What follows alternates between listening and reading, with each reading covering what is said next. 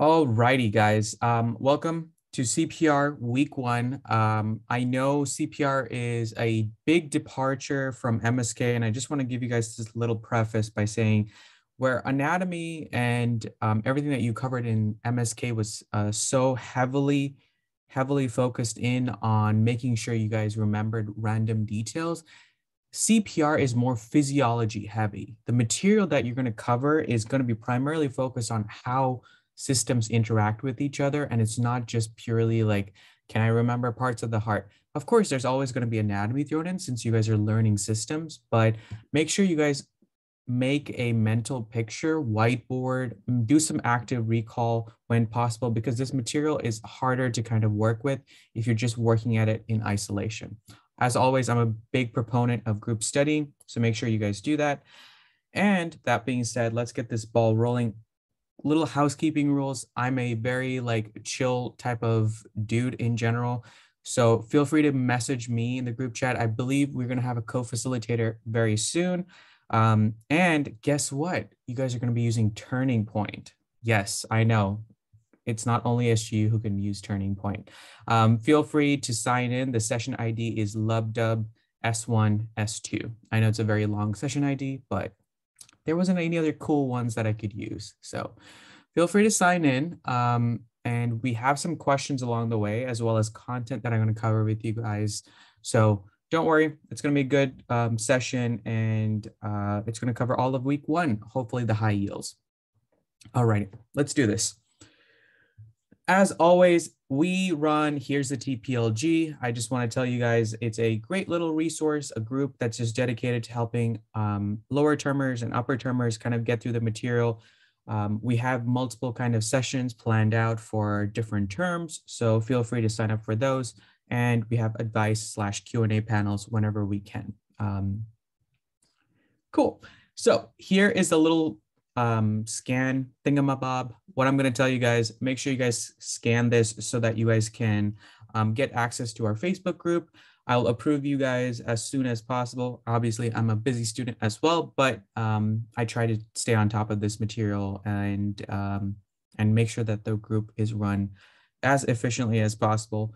Um, and we have access to a Google Drive that has a um, bunch of helpful resources, practice questions, um, resources we used uh, uh, as uh, as students ourselves um, when we were going through this material. So make sure you guys do that um, when you guys can.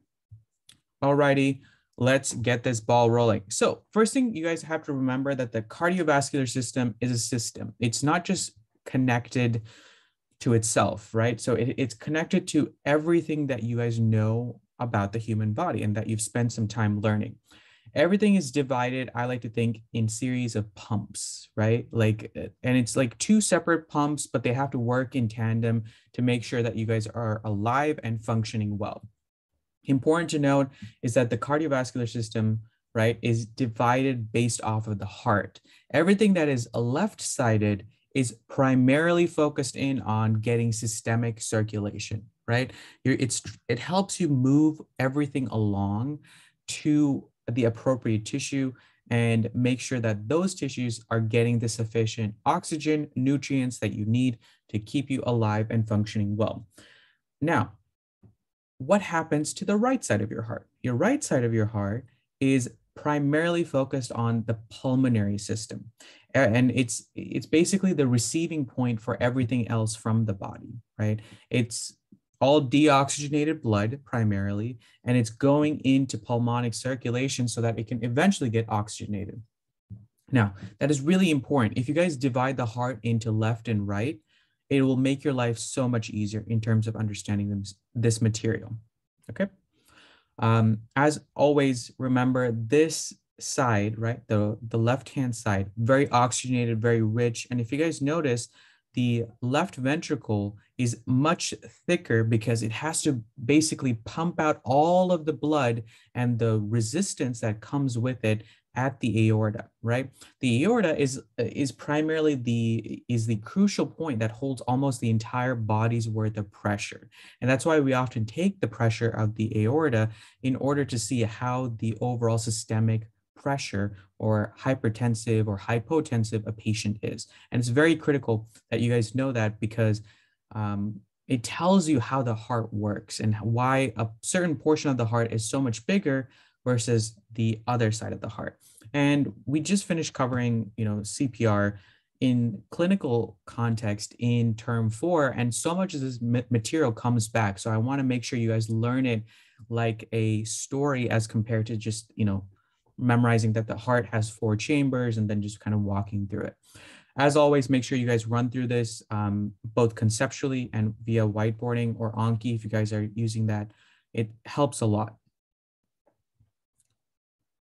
All righty. Um, next thing you guys need to know is that the system is divided into two pumps, right? Primarily, everything runs in series. And the reason why it runs in series is because it's just blood moving from one location to the other, right? You don't really have to worry about too much pressure because the pressure can be managed by the um, composition of your vessels, right?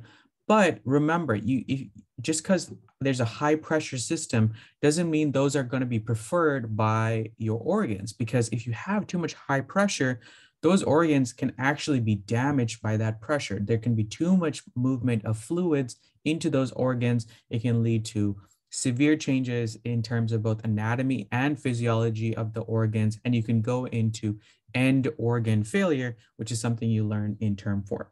Now, like I mentioned, left heart, right, composed of two chambers, right, left atrium, left ventricle, and it, it's primarily oxygenated blood that you're worried about here. And that has to go into systemic circulation, right? It goes to the body. And that's really important that you guys remember that. Um, and remember that the capillaries are actually in parallel as compared to in series for everything else. Okay, that's really important because that's how your organs kind of essentially work um, in, in order to relieve some of the pressure in having these capillaries in parallel. Okay, whereas the left side of the heart, like I mentioned, right atrium, um, right ventricle, deoxygenated blood, and that goes to pulmonary circulation. And you guys are going to learn pulmonary pathology much later, but you guys do need to know what happens at the lung level that can potentially mess with the heart. Okay. Coolio, let's move right along like I mentioned, parallel in terms of blood vessels, right? You guys can see how everything has to be in parallel at the end organ level, right? The brain, the kidneys, the gut. And the reason why you have this is because you can tightly regulate your um, major arteries that are going to the organs based off of vasoconstriction, vasodilation, right? Now, it's about balancing your resources like everything else in life, right? your brain might need a whole bunch of oxygen going to it constantly. So it doesn't really need too much vasodilation, vasoconstriction, etc. But let's say you just had a nice burger um, and your body needs to digest and metabolize all of this food and resources that's coming in. So your body has to vasodilate and everything else has to has to vasoconstrict, right? That's why you know they t- they tell you not to work out after you you know have a nice meal because it it causes these systemic level changes and it can mess with your um, your limbs right? Because your limbs are, need a lot of blood when you're working out as compared to when you're rest and digesting. And this really comes into the perspective of sympathetics and parasympathetics okay? Remember if blood flow to each organ is added um, overall it's about like five liters per minute of like pressure and volume kind of flowing through this area. So just keep that in mind. It's it's a lot um, of pressure to kind of deal with, and that's why having it in parallel helps maintain that pressure and um, you can tightly regulate it in terms of the cardiac output and where everything goes right if you guys can see the primary hoggers of most things is liver gut um, skeletal muscle, brain, and kidney. Everything else is superfluous. Look at how tiny the heart kind of receives blood from its own kind of circulatory system. It's tiny, it's a fraction, and yet it's so giving, right? The heart is so beautiful. It's so romantic. I love that. Um, although it's the wrong season for that. Happy Halloween to anyone who's in the stateside. If not, um, no worries. Halloween is like almost universally kind of recognized as this like random holiday that's kind of thrown in there. Now, important that you guys know this, okay? Whenever you guys see a little heart slide or kind of um, this image, it's high yield. You got to know these values or anything that's presented on these slides. Overall, everything that I'm giving to you guys is high yield material, but just know this one very well. Okay. Stroke volume is end diastolic volume versus end systolic volume. It's the amount of volume that your blood, uh, uh, sorry, amount of volume um, that of blood that is ejected from your heart. And that's really important, right? Because it tells you um, what type of parameters you're working with. Let's say your heart kind of goes into failure, right? Heart failure, your stroke volume actually goes down, right? Your end diastolic volume changes, your end systolic volume increases because your heart is no longer able to sufficiently do that ventricular squeeze that gets the um, blood moving from the ventricles. Ejection fraction is the fraction of the end diastolic volume that's ejected with each stroke volume. And basically, it tells you um, the stroke volume and the end diastolic volume and how much of it is actually squeezed out, right? That's the volume that's ejected, right? That's critical to you guys remember that. These values are tested on your exam. It's a guaranteed question, essentially. Cardiac output, very simple. This formula will come time and time again. Um, it's the essential output of the stroke volume times the heart rate. Now, your sympathetics and the parasympathetic lectures come in handy with this is because a lot of your inotropic and um, your overall like increasing heart rate can potentially change the stroke volume as well. So you can increase your cardiac output. And it makes a lot of sense because if you think about it, when you're working out or when you're resting digesting, you don't need your heart to work too much. Whereas when you're working out, you need your heart to work extra hard, get a lot more blood to kind of move and pass any sort of um, nutrients as well as take out any sort of gunk that you don't need, right? Such as um, lactic acid and other things that you're going to cover later on. Let's cover histology real quick. Um, and I know there's a couple of questions in here, so make sure you guys sign in and I will throw a timer on here. And I'll try to keep it short, 30, 30 seconds. So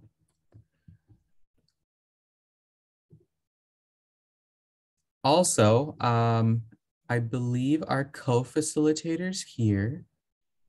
Um, Cait, do you want to quickly introduce yourself?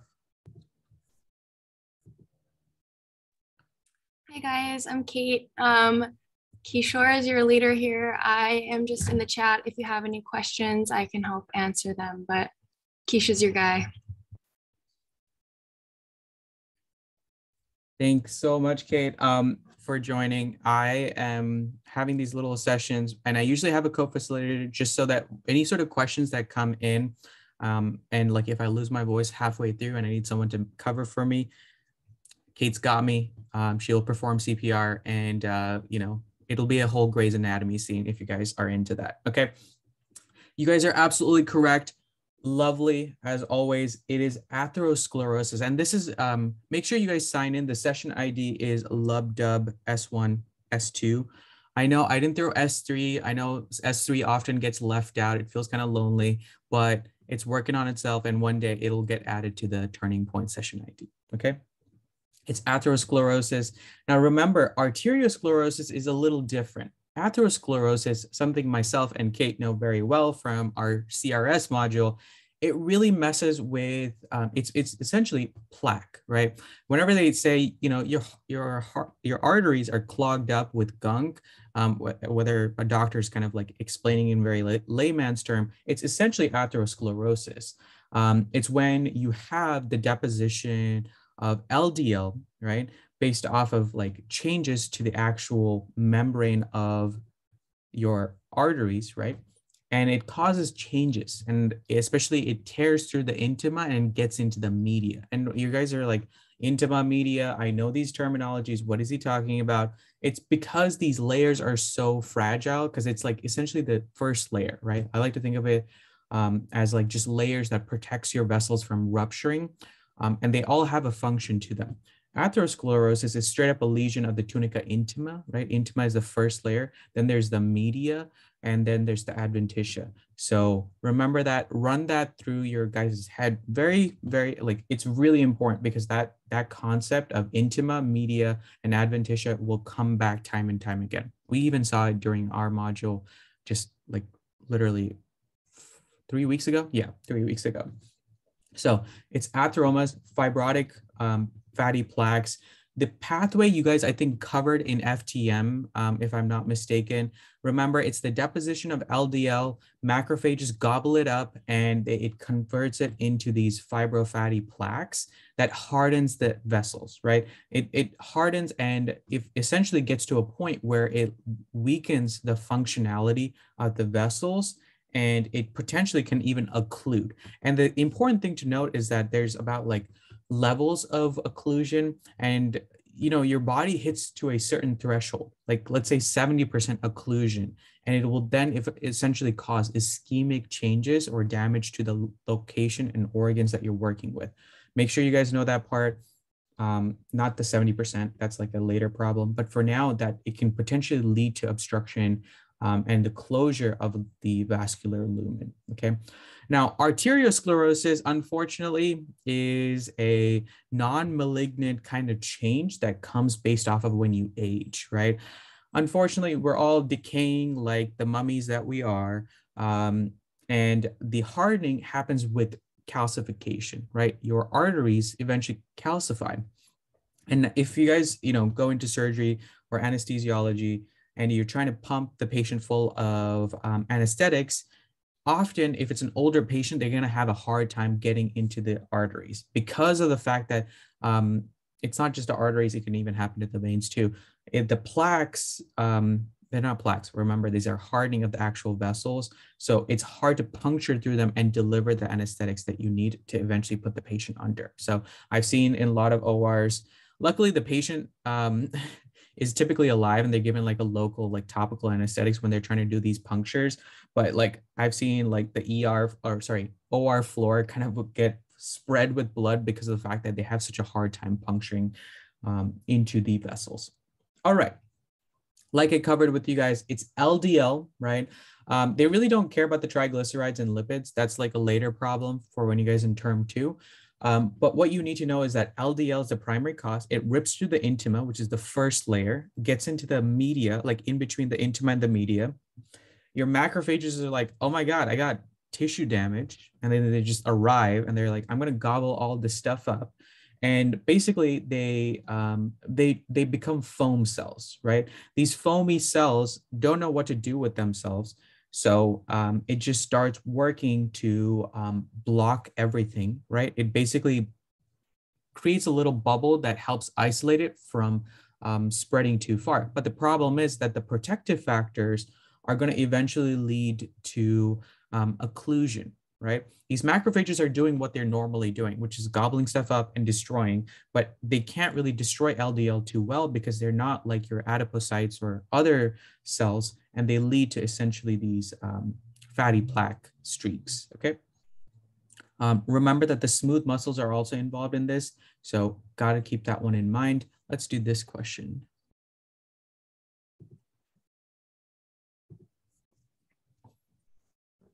And hopefully I'll try not to lose my voice today.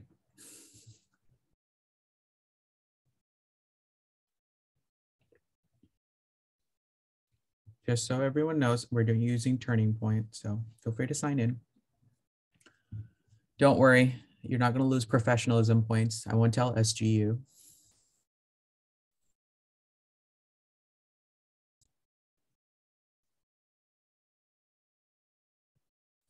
Okay. Um, we had a little bit of distribution, and I completely get why, um, because this often uh, can be confusing. So, what are we looking at here? What kind of? Um, feel free to unmute and just yell at me too. Like I love that. Okay. Um, what type of tissue are we looking at? Skeletal muscle. Skeletal muscle, right? Now, the important thing is with skeletal muscle, it's one of the one of the kind of key components that need to be separated from your vasculature. And that sounds kind of weird. You're like, why do you want to have so much separation between your vasculature? Because your vasculature and your blood supply have a lot of different ions and things associated with them that can literally tweak your muscles, right? I'm not talking about like metaphorical tweaking, like I'm talking about real tweaking. Your muscles will spasm out if um, these ions that are in the blood hop into these actual um, myocytes, right? So important to note that in the skeletal muscle, you're going to have endothelial cells with tight junctions and a continuous basal lamina, right? It's hella protected, right? And I just want to emphasize this. You guys got to know all of these very cold, right? You need to know your continuous somatic capillaries, right? You need to know your fenestrated visceral capillaries and the discontinuous sinusoidal. Now, I'm a big proponent of not memorizing anything in life because ain't nobody got time for that. And two, if you learn it like a story, it helps you remember it much better. So remember with continuous and somatic, it's so well protected, right? Look at look at all the locations where it's so protected. Connective tissue, muscle tissue, nerve tissue, exocrine glands, and cerebral cortex. It makes sense, right? Because all of these organs need to be separated from the blood and all of the ions and stuff that are floating around there. Obviously, you want simple diffusion to still happen so they these tissues can, you know, get oxygenated and stay alive, but you don't want them to, you know, get access to a bunch of other stuff. Whereas your fenestrated, right, it has a continuous basal lamina with tight junctions still, but it has these kind of opening pores, right? They have like little um, fenestrations. That's exactly what it what the name sounds and um, location of it makes a lot of sense because you want stuff to pass through much easier right? You can think about your ciliary process of your eyes right? You need your your um, your aqueous humor to kind of make sure that they don't just hang out in one location cause a buildup of pressure and eventually you you know getting glaucoma right? You also have it in the choroid plexus um, that's in the ventricles and if you guys remember well actually my term twos, you guys are covering NB, it makes sense why we see fenestrated capillaries here because you want your CSF to eventually um, diffuse back into your blood so that any sort of extra lymphatic uh, fluids can drain normally, right? Then you have your kidney and your glomeruli, right? It makes sense because you need to filter out some stuff. I like to think of the fenestrations as like little filters. Now, that's really important because big macro stuff have to pass through from the uh, vasculature into the urine, right? Or eventually the concentration of the urine. Same thing with your GIT, gastrointestinal system. All of this is going to make sense when you guys get to term two even further on. Okay. Discontinuous is very, I, I believe it's the easiest one because it needs to be dealing with big chunky stuff, right? Liver produces so much protein, so many uh, charged particles and all sorts of other things that it needs to have very big open pores. So liver, spleen, and bone marrow. Think about it in terms of bone marrow. We're learning hematology oncology right now, and we're crying about it. It makes sense why we have discontinuous because all of these cells are just spit out into the vasculature and the blood, eventually leading to um, the production of what we know as RBCs, and uh, the development of your immune system. So really important that you guys remember that. And we had questions about this galore based off of just tissues and where everything is happening. Okay. I've given you guys the highlights, okay, of what which ones you need to know. They're all here. Um, memorize this cold and you should be good. Okay, let's do this one.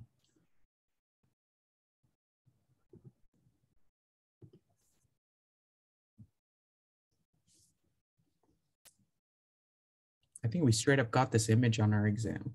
Just a wink, wink, nudge, nudge.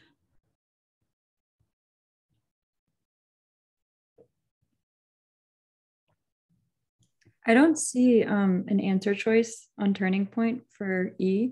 Like it only goes up to Ooh, D. My bad. Okay.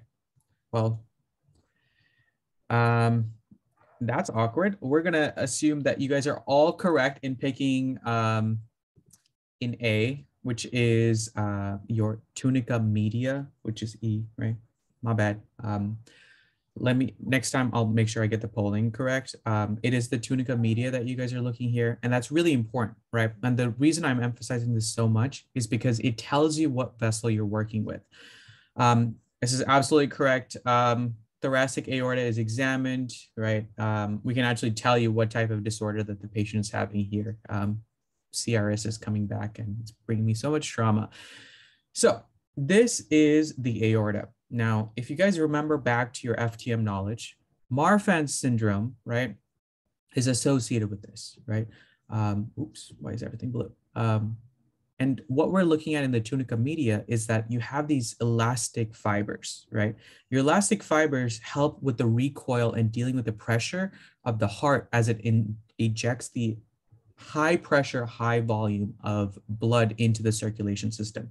Your aorta basically has to deal with all of this, right? It has to deal with the pressure incoming, and then it has to come back to its um, natural state after each ventricular ejection, right?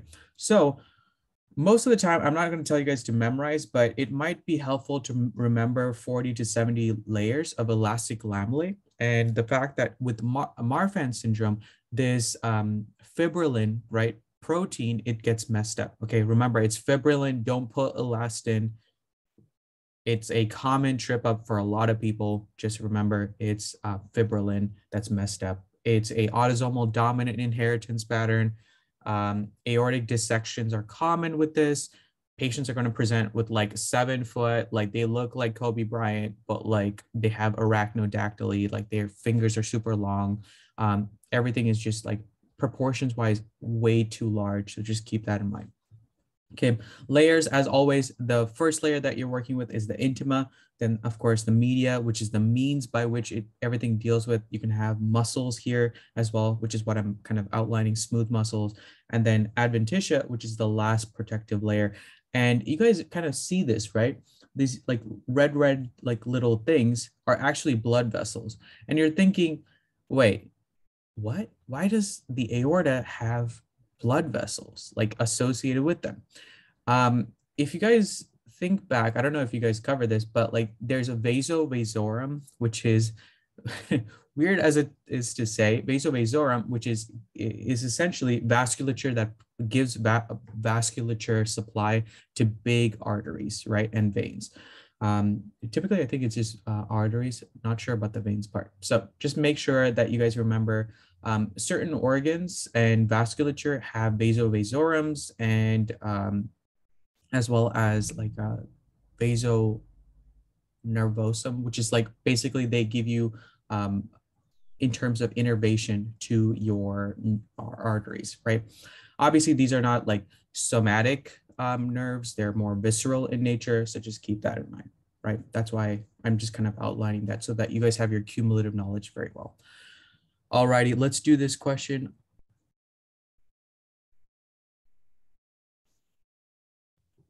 And hopefully I get my turning point sorted out.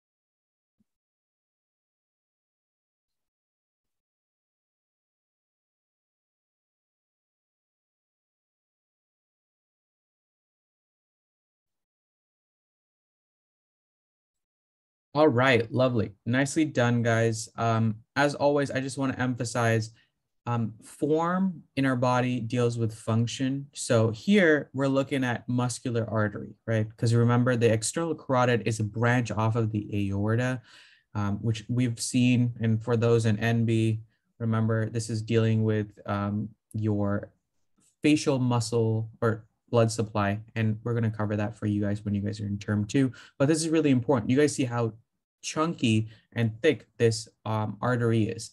B is more of your elastic kind of aortic kind of artery. Don't worry about it right now. Um, make sure you guys just cover histology so that this is the way that SU likes to ask the questions. And let me just quickly run through muscular artery, elastic for B, small arteries right here, um, D is a large vein. I know that can that can trip up a lot of people. And then E is a medium vein. Okay. All right. Um, I just want to emphasize this. Uh, it kind of throws people into a loop as to what you, you need to remember with the post-capillary venules. Um, it and they just kind of threw this random fact at you, and you're like, why do I need to know this? The reason you need to know this is because postcapillary venules are the location sites where your actual immune complexes and cells can enter, right?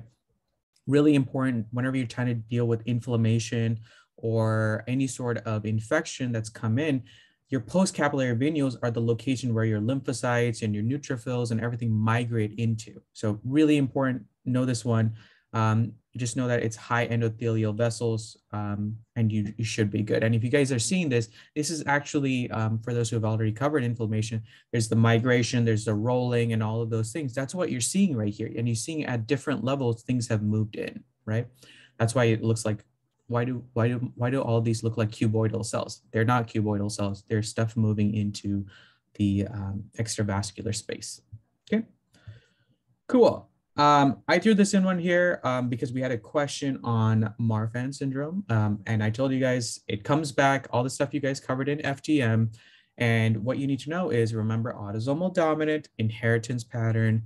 Um, it's fibrillin, okay, um, that's affected. And it most often presents with a, a, a cardiac level issue. Um, we've seen aortic dissections a lot more when you guys get later on in your time here at SGU. But um, remember, it cuts through the media. Okay. This is the part that trips up a lot of people. You're like, wait, how did it get into the media? It's because of the fact that elastin is the part that's messed up, right? Elastin uh, fibers are messed up. Now, your varicose veins are kind of important too. It's basically um, your veins in general have to deal with the fact that it has to be not only squeezing to get blood back to the heart, but it also has to deal with the fact that um, you need to have essentially one way valves, right? When these valves are failing, they essentially collapse and they let the blood that's naturally um, wanting to go downwards due to gravity kind of um, hang out, right? And they, and thing is, whenever you're dealing with veins, it's going to allow for things to dilate and your veins can hold a lot of blood. And most of the blood in our body actually hangs out in veins. And we don't often use the full kind of measure of blood that's hanging out there. We only allow a portion of it to return to the heart based off of whatever parameter you're working with. Alrighty, I see a question. What's up? James? You had said on Marfan syndrome, it's a laceration into the tunica media, but on the the um, captions here, it says a laceration to the tunica intima. Yeah, so it cuts through the intima, but they really like to make sure that you guys know that the media is affected, right? You they want you to know that the media is where the um oh, well, you guys are going to cover this. Hematoma is basically lodging and creating this wedge, okay? Know that one part. The intima you guys you guys can make sense of that right? Because like it has to cut through the first layer to get into the media. That's why i wanted to um, emphasize the media portion because that's what they like to ask in terms of the dissection. Alrighty we had another question. Stephanie i believe? Yeah, it's not a question exactly, but I was a little bit tripped up with the Marfan syndrome with elastic and the fibrillin. And yeah. so the way that I was able to remember it is so I think of it like a scrunchie. So mm-hmm. on the outside of the scrunchie, you've got the, the cloth that protects the inside elastic. So fibrillin is like the cloth part of the scrunchie and the elastic is the inside. If you don't have the outside protecting the elastic, then that's how things can get split and torn. So that's how I remembered it. Exactly. And feel free to share more of it. I, I'm a firm believer of both mnemonics, acronyms, and any quirky ways of keeping things in mind. Because trust me, during the exam, when you guys are stressed out, it helps a ton, ton just to remember a random analogy or an example someone's given. Thank you for that. All righty, let's do the next question.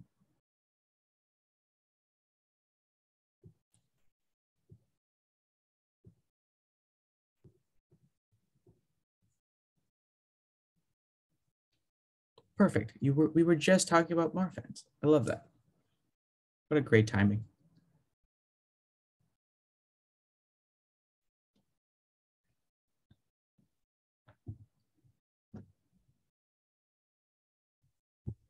I'm expecting 100% with rockets, okay? I expect rockets. Please tell me you guys have had Dr. Toledo already.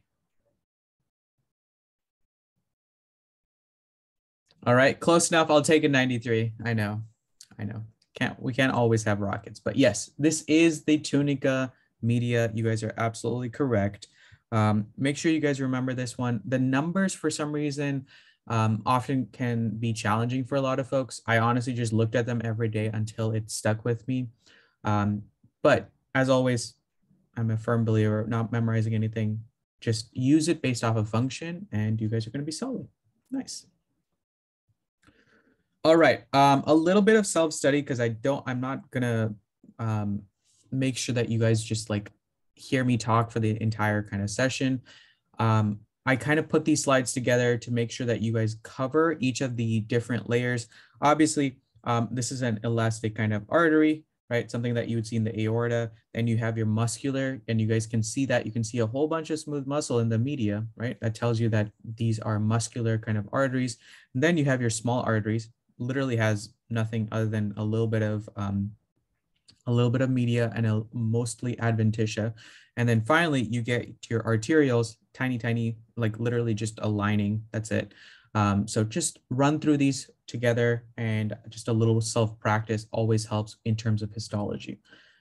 Alrighty, um, let's kind of take a quick peek through this. Why do we need to know this? Um, Weibel-Palade bo bodies are associated with this.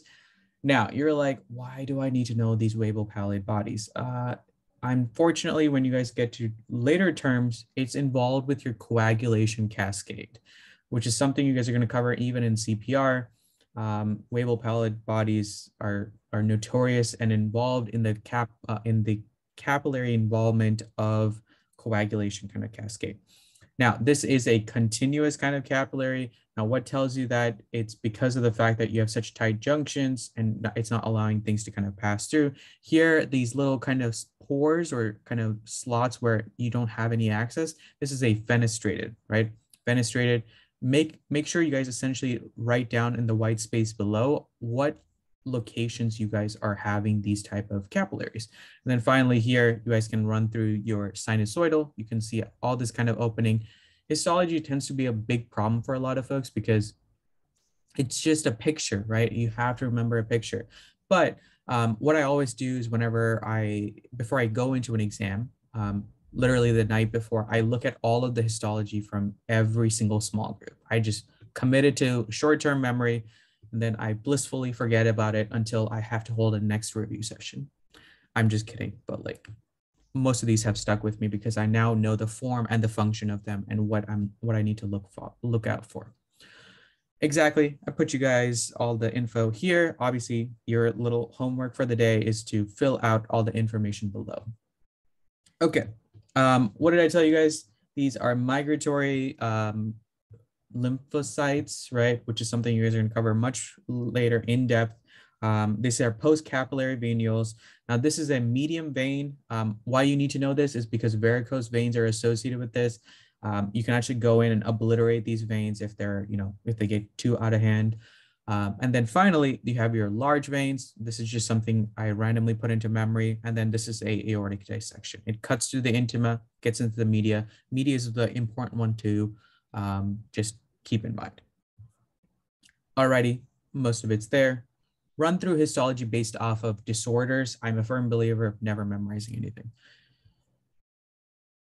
All right, mediastinum. I know you guys love anatomy. Trust me, I love anatomy too. Um, I'm kidding. I like anatomy, but I don't like love it until I have to like memorize it. Let's do this question. Give you guys a little bit longer because I know these question stems are getting thicker than the elastic artery.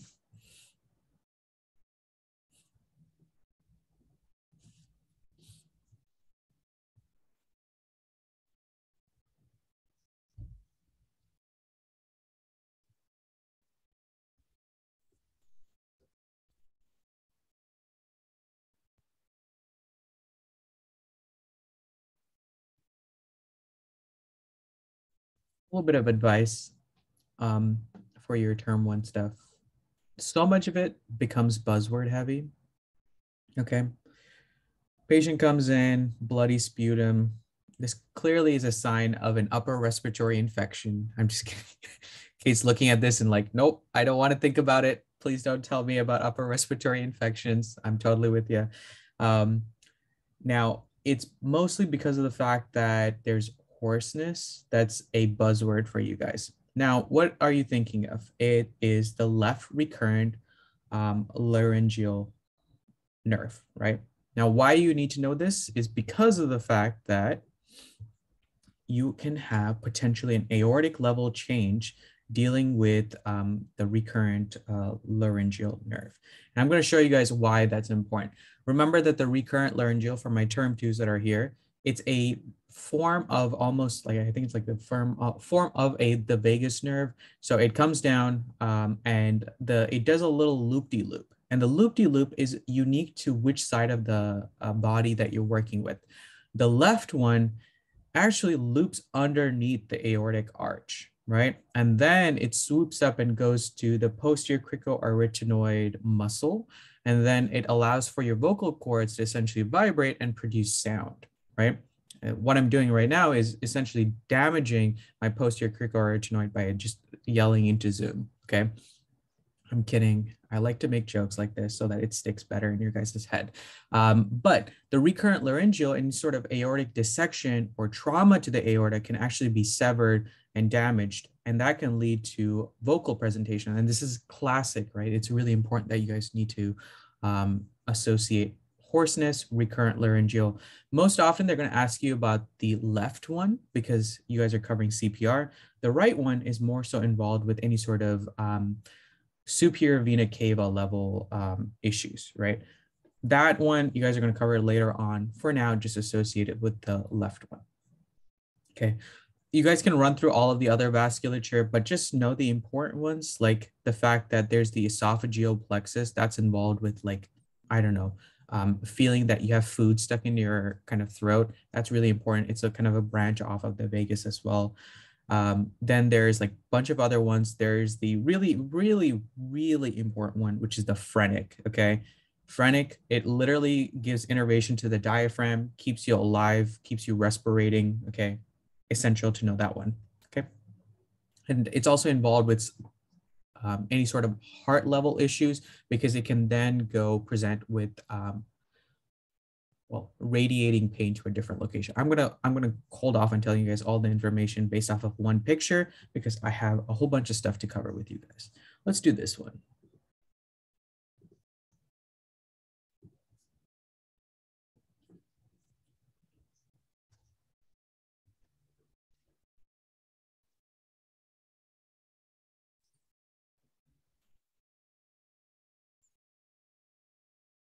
See, I like sometimes I even forget putting together these slides and I just start giving you guys answers to questions. And I'm like, are you kidding me?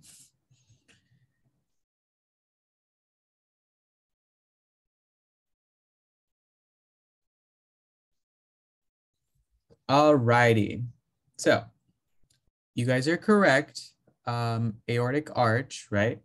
So what are we likely looking at? Right? It's the phrenic nerve, right? Um, now, the important thing to note is that it's associated with pain over the left shoulder, shoulder, and that's a radiating pain. It's a referred pain. Because of the fact that whenever you having aneurysm at the aorta, right, um, and as well as um, any sort of pain to the that's radiating out, it's because of the fact that the phrenic is associated with um, your breathing, right, your respiratory rate, right? Um, as well as a little bit of the um, heart. I'm going to cover that in a bit, but for now, just know that the phrenic is also involved with any sort of changes to the um, respiratory pattern. You guys are going to cover pathology much more. Um, to the forearm, I'm going to cover that. Make sure, oh, I don't want to give you guys too much of the answers, but phrenic, look at the way it kind of descends, right? It's a branch like the vagus. It comes down, it goes through the pericardial kind of area. It provides innervation, and then eventually it goes to um, other. I mean, it goes to the diaphragm, and then eventually, if there's any sort of pain at the heart level as well as the diaphragm, it's going to be a referred pain. Okay, questions. I just have a quick question. I know in that one you mentioned the aortic arch, and I kind of associate that with the recurrent pharyngeal left side. But mm-hmm. is the key thing to do phrenic here because of the dyspnea? Yes. Yeah. It was a dyspnea that I wanted you guys to like focus in on. The thing is, the left shoulder is kind of a, a, a like a generalized place where a lot of things can go. Um, I can tell you guys, you can even have left shoulder pain, pain with even spleen level involvement. And you're like, what the heck is a spleen and why am I trying to learn it right now? But it's because of the fact that the spleen is so tightly nestled against the diaphragm that it can actually have presentation by irritating the phrenic nerve and it can have left shoulder pain. And you're like, oh my God, the patient's dying. Nope, it's just because of the fact that they have splenomegaly.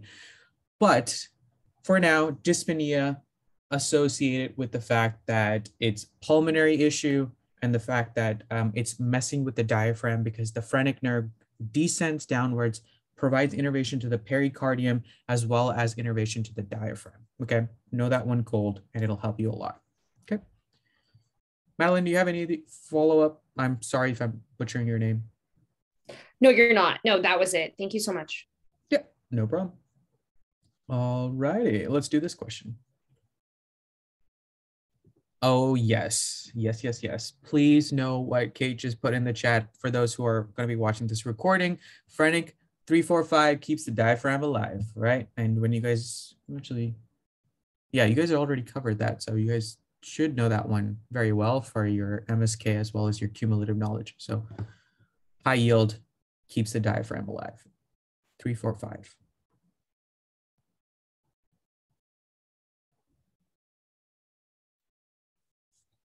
Actually, I'll give you guys some more time because I keep blabbing away.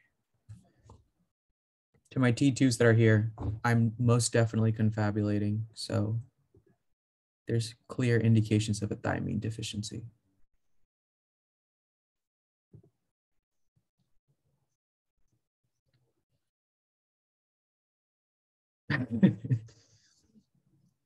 Thanks, guys. Um, all righty. Okay.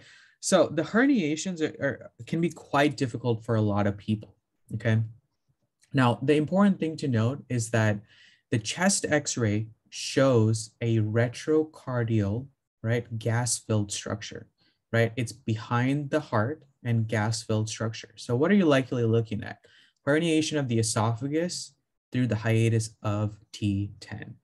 Now, can either my T2s or the T1s that are on this call throw the mnemonic for remembering um, how to remember all of the kind of openings into the diaphragm? So there's the mnemonic I ate 10 eggs at 12. So esophagus would be T10.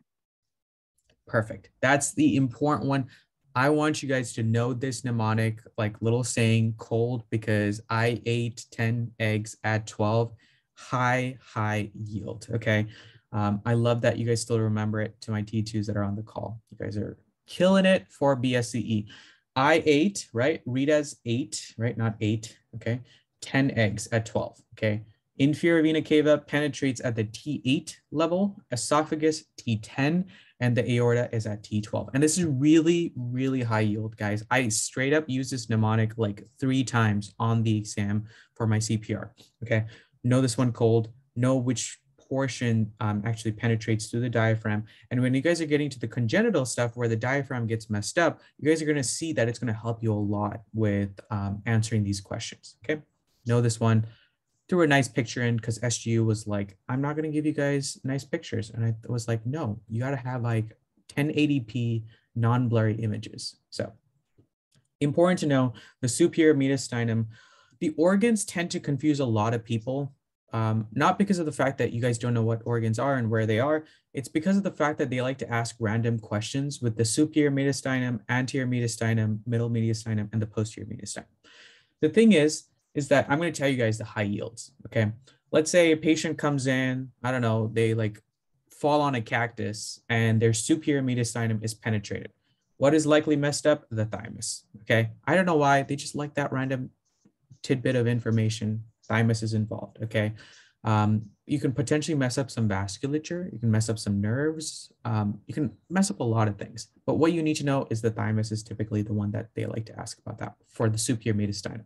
The anterior one, It's not too crazy because um, there's not too much going on. It's such a small space. There's the internal thoracic vessels um, that's giving blood supply to the thoracic wall, as well as the, if you guys remember back to your MSK knowledge, all you need to remember is that um, your VANs, right? Remember your VANs, right? Veins, arteries, and nerves. Those are the ones that are they're talking about in terms of your thoracic vessels, right? That's going in terms of giving mus um, innervation and blood supply to the um, muscle slash cartilage of the thoracic wall. Then there's the parasternal lymph nodes. For those who need your cumulative knowledge to be tested, parasternal lymph nodes are involved with what metastasis?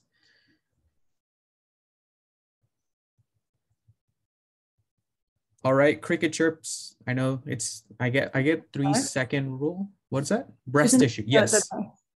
Perfect. Nicely said. Um, it is uh, breast cancer when it metastasizes to the um, to the other breast tissue, whether it's on the right to the left or left to the right. Um, it's like involved in 25% in terms of spread.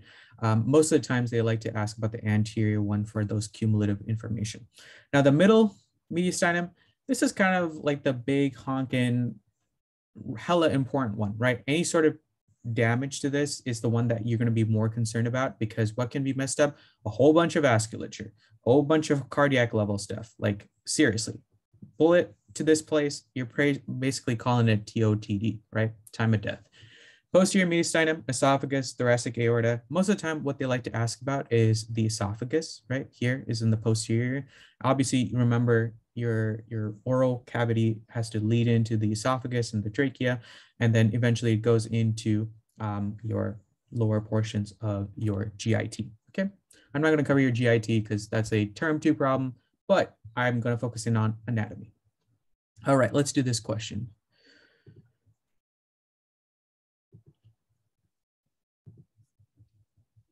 Yep, please, please look at first aid, guys. Um, as long as you guys go through first aid, a lot of the high yields that you are you guys are going to getting from um, your from your from your lectures are going to be synthesized down to the essentials in first aid. Okay.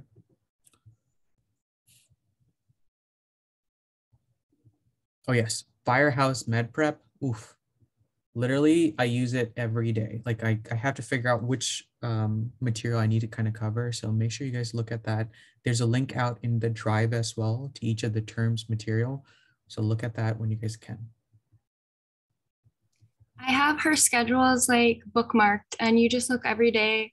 And if you don't know what to study, she literally has a study plan for you, like correlating first aid pages or sketchy videos or boards and beyond. Like if you're not quite sure what to do, that will tell you what to do.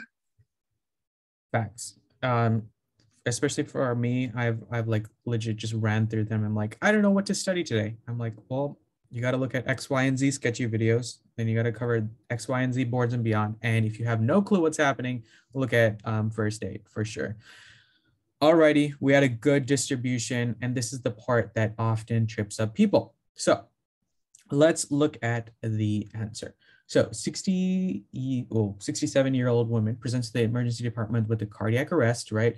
Um, you guys can, you guys are seeing the pacemaker and it, what you need to identify is actually where it terminates. And you're like, well, what am I looking at here? Um, a lot of people were tempted by the left ventricle and I completely understand why. But if you guys are seeing, it's sticking to the the more right hand side of the heart, right? Look at this little boot shaped heart, right? So cute. It's like a little like UGG boots. Okay. Um, anyway, the node essentially ends here, which is in the right ventricle, which is the correct answer. And this is often very confusing for a lot of folks in terms of where everything goes in terms of um, breaking up the heart make sure you guys remember um, in terms of your pacemakers and other stuff, they're going to prefer to put it in a ventricle um, or in the atrium. First thing they're going to like to do is mess with the atrium because of the fact that you have your SA and AV nodes that they can kind of tweak to make sure that your pacemaking capabilities are functioning well. If they can't do that, then they're going to put it in a ventricle and then stimulate it directly via electrical signals. Okay.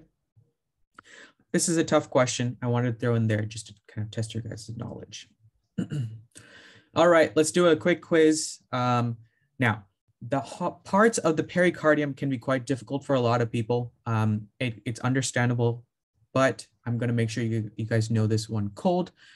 Um, the answer for the last one was actually look at where the node ends is actually ends in the right ventricle, right? Look at where the tail end of the node is. Okay, pericardium. Sorry, I had a private message, so that's why I'm trying to cover it again. Pericardium, different layers. What you do essentially need to know is that um, two, well, well let's just kind of start off with one. Um, one is basically like the connective tissue, right? You, not Nothing serious going on here let's start off with more so of two, which has the fibrous pericardium. Not hella important. All you need to know is that innervation from that comes from a branch of the phrenic, right? In, sort in, in terms of referred pain, it can go to the shoulder. That's just a little bit of tidbit, okay? Now, the more important portion is the serous layer, which is the third one, right? It's the parietal layer and it has the serous, right? Kind of pericardium. That's where you're getting the production of fluid, right? And it's really important that you guys know that because the fluid production is what makes sure your heart doesn't cause these pericardial friction rubs, right? Those friction rubs are bad. That means it's telling you that there's some kind of bacteria, or you have some kind of changes to the vasculature. It can be a whole host of things. You guys don't need to worry about pathology we do. But when you guys get there, just a good tidbit of information.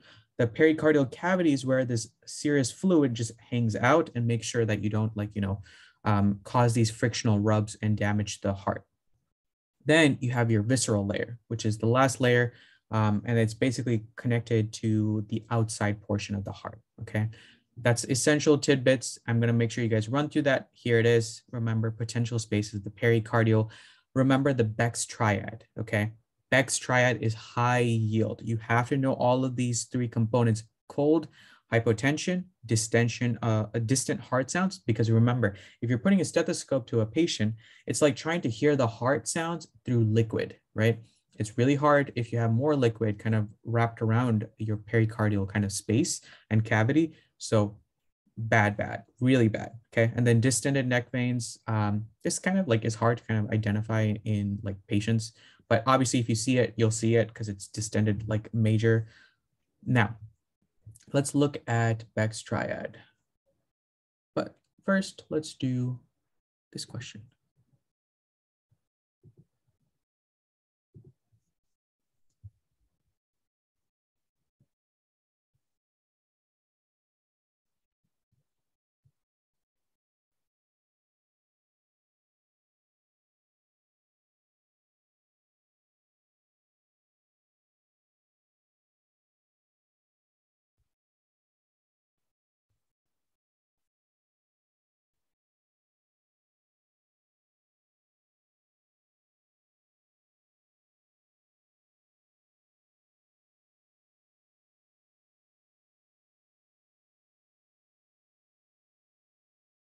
Alrighty, final seconds. Make sure you guys click in. Don't worry, you only have to get 50% right, just like IMCQs, and you'll be okay. I'm just kidding. I just want to making sure you guys get some Halloween spooky vibes. I'm just kidding. Yes, it is. Actually, let me look at the distribution again. My bad. Um, you guys were a bit confused on this. What you need to know is that the visceral pericardium and the parietal pericardium is the one that's involved with creating the space, right? Which is the um, pericardial cavity where you're looking at the hallmark signs of Beck's triad, right? Patient comes in hypotensive, right? They have a elevated jugular venous pulse. Um, extremities are cold because remember heart isn't pumping out enough blood. Auscultation's messed up, like everything it's Beck's triad that's kind of giving you um, the key thing. What's really happening in Beck's triad, it, Beck's triad doesn't have to just come purely based off of trauma. I just want to emphasize this, okay? Most of the time, you often see it in the ED because of the fact that there's trauma, gunshot wound, etc. But it rips through the pericardium. The blood doesn't know what to do with it with itself, so it starts filling the pericardial cavity, and eventually it's going to squeeze the heart to not do its function, right? And I'm going to cover that with you guys in a hot minute. But it's not the parietal pericardium and the fibrous pericardium. Fibrous doesn't really make anything, right? Um, it's just involved with kind of the outer protection of the pericardium, right? What you do need to know is that the visceral and the parietal, that's the space, right? And the serous is the one that produces the actual um, fluid, okay? All righty, here is Beck's triad. Like I mentioned, if I mentioned it twice, you know it's gonna kind of show up on the exam, okay? Distant heart sounds, elevated JVP, hypotension, right? Fluid is in the pericardial space. It's located between the visceral parietal, the visceral and the parietal layers, right? And the serous portion is like I like to think it's like it's seriously involved in creating fluids. Like it's seriously involved in creating fluids. Okay, so that's the um, pericardial fluid that helps make sure that your heart is working normally and doesn't like rub up against the um, other portion. Okay, like Cait said, Three, four, five keeps the diaphragm alive. I just want to emphasize that here. This little picture, high yield. Okay, know this one cold. Okay, clinical note, this is important. Pericarditis, um, we've actually learned about this very well, um, Cait and myself, because you can have changes to the heart based off of non um, like trauma level thing, right? It can be due to infections. You can have renal failure, which changes the osmotic um, activity of your actual blood, and that can lead to more kind of fluid production or lack of fluid, and that can cause frictional rubs. Post myocardial infarctions, we've seen these. Oof, I did not miss those days. And post surgical, right? That's very common. Um, you can have a friction rub resulting from this. Pericardial effusion is the opposite of pericarditis, right? Effusion is the excess of fluid moving into the pericardial space. Common cause of it is pericarditis, connective tissue diseases, and hypothyroidism, right? Um, whenever they say a boot-shaped heart, it is a buzzword for pericardial um, effusion, okay? Boot-shaped. Let's do this one. This one's a bit difficult because I was tripped up on it back in the day. Let's see how you guys fare.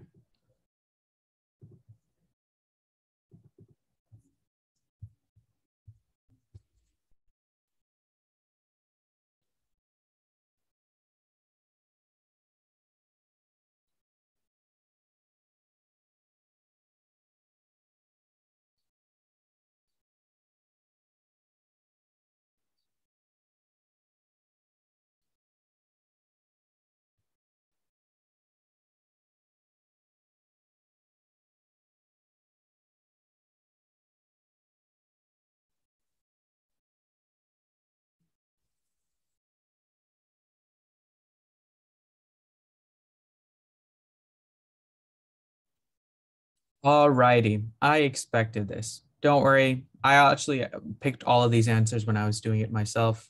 Trust me, this is not easy stuff, okay?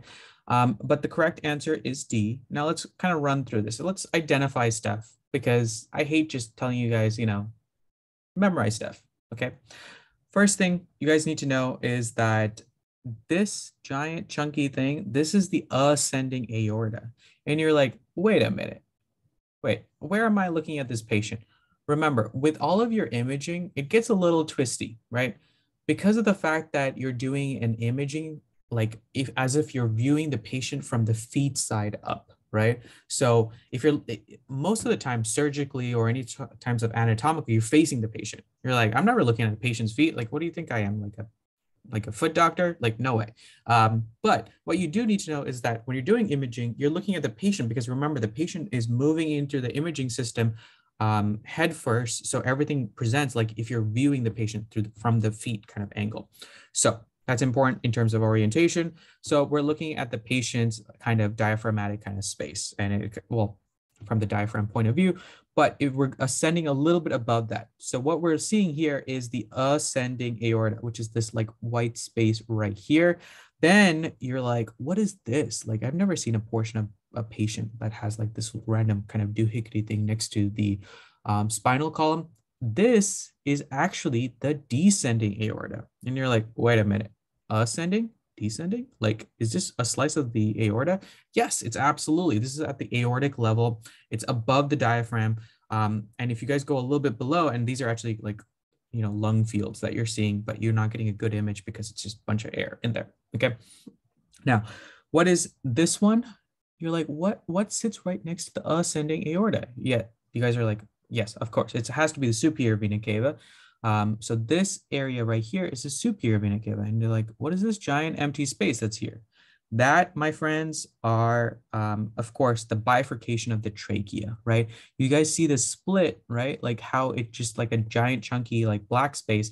That's because there's nice thick cartilage around that area, keeps it nice and patent and allows for air to kind of move right through into the lungs, okay? And then of course, E, of course, we're just talking about the fact that the esophagus is squished, okay? That's it.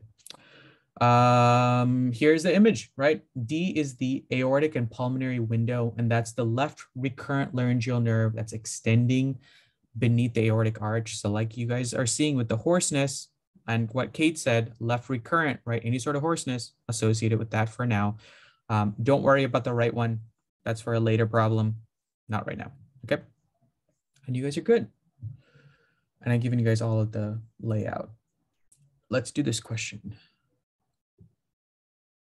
I know it's quite difficult. These are not easy. And I shamelessly stole them from Amboss and their board preparatory material. So just keep that in mind.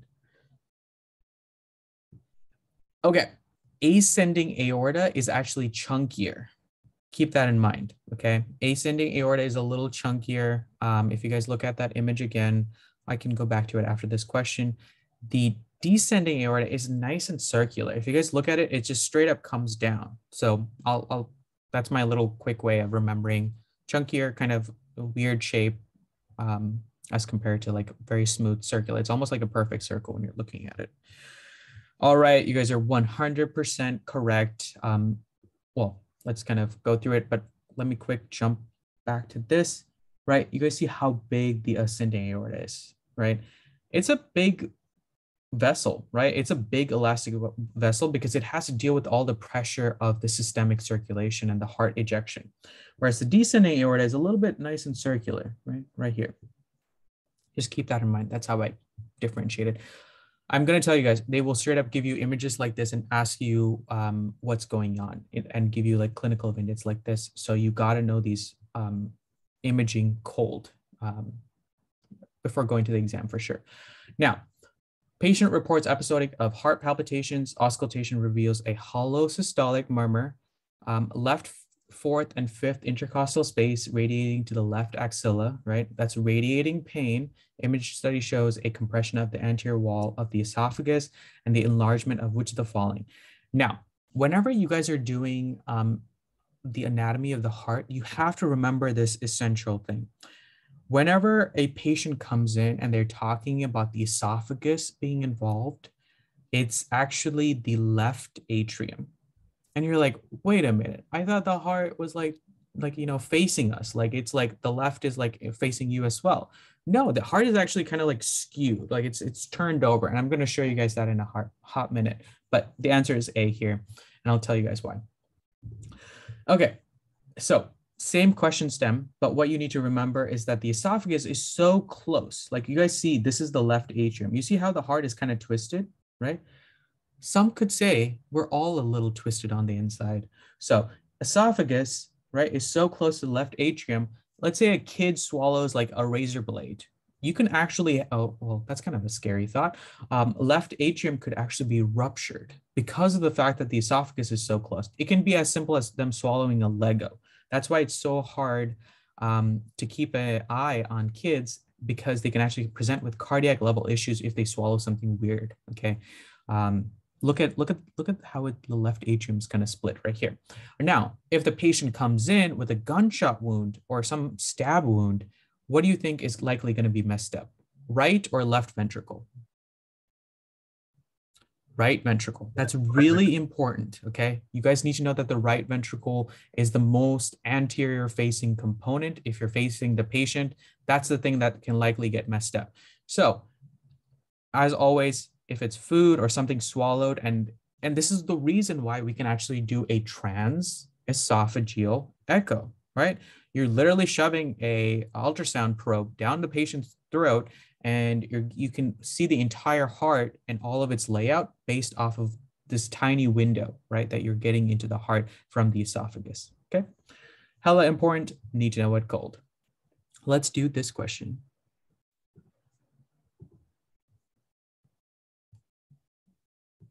Oh, um, let me cancel that and uh, restart polling because I'm not giving you guys enough answer choices. Bad, Keish, bad.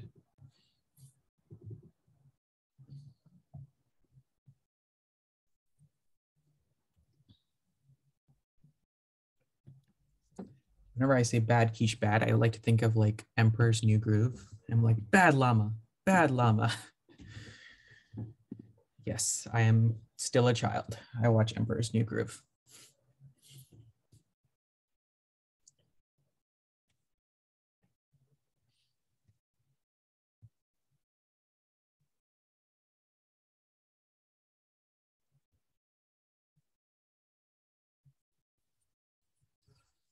Hope I didn't give you guys the answer. Oh, there it is. Okay.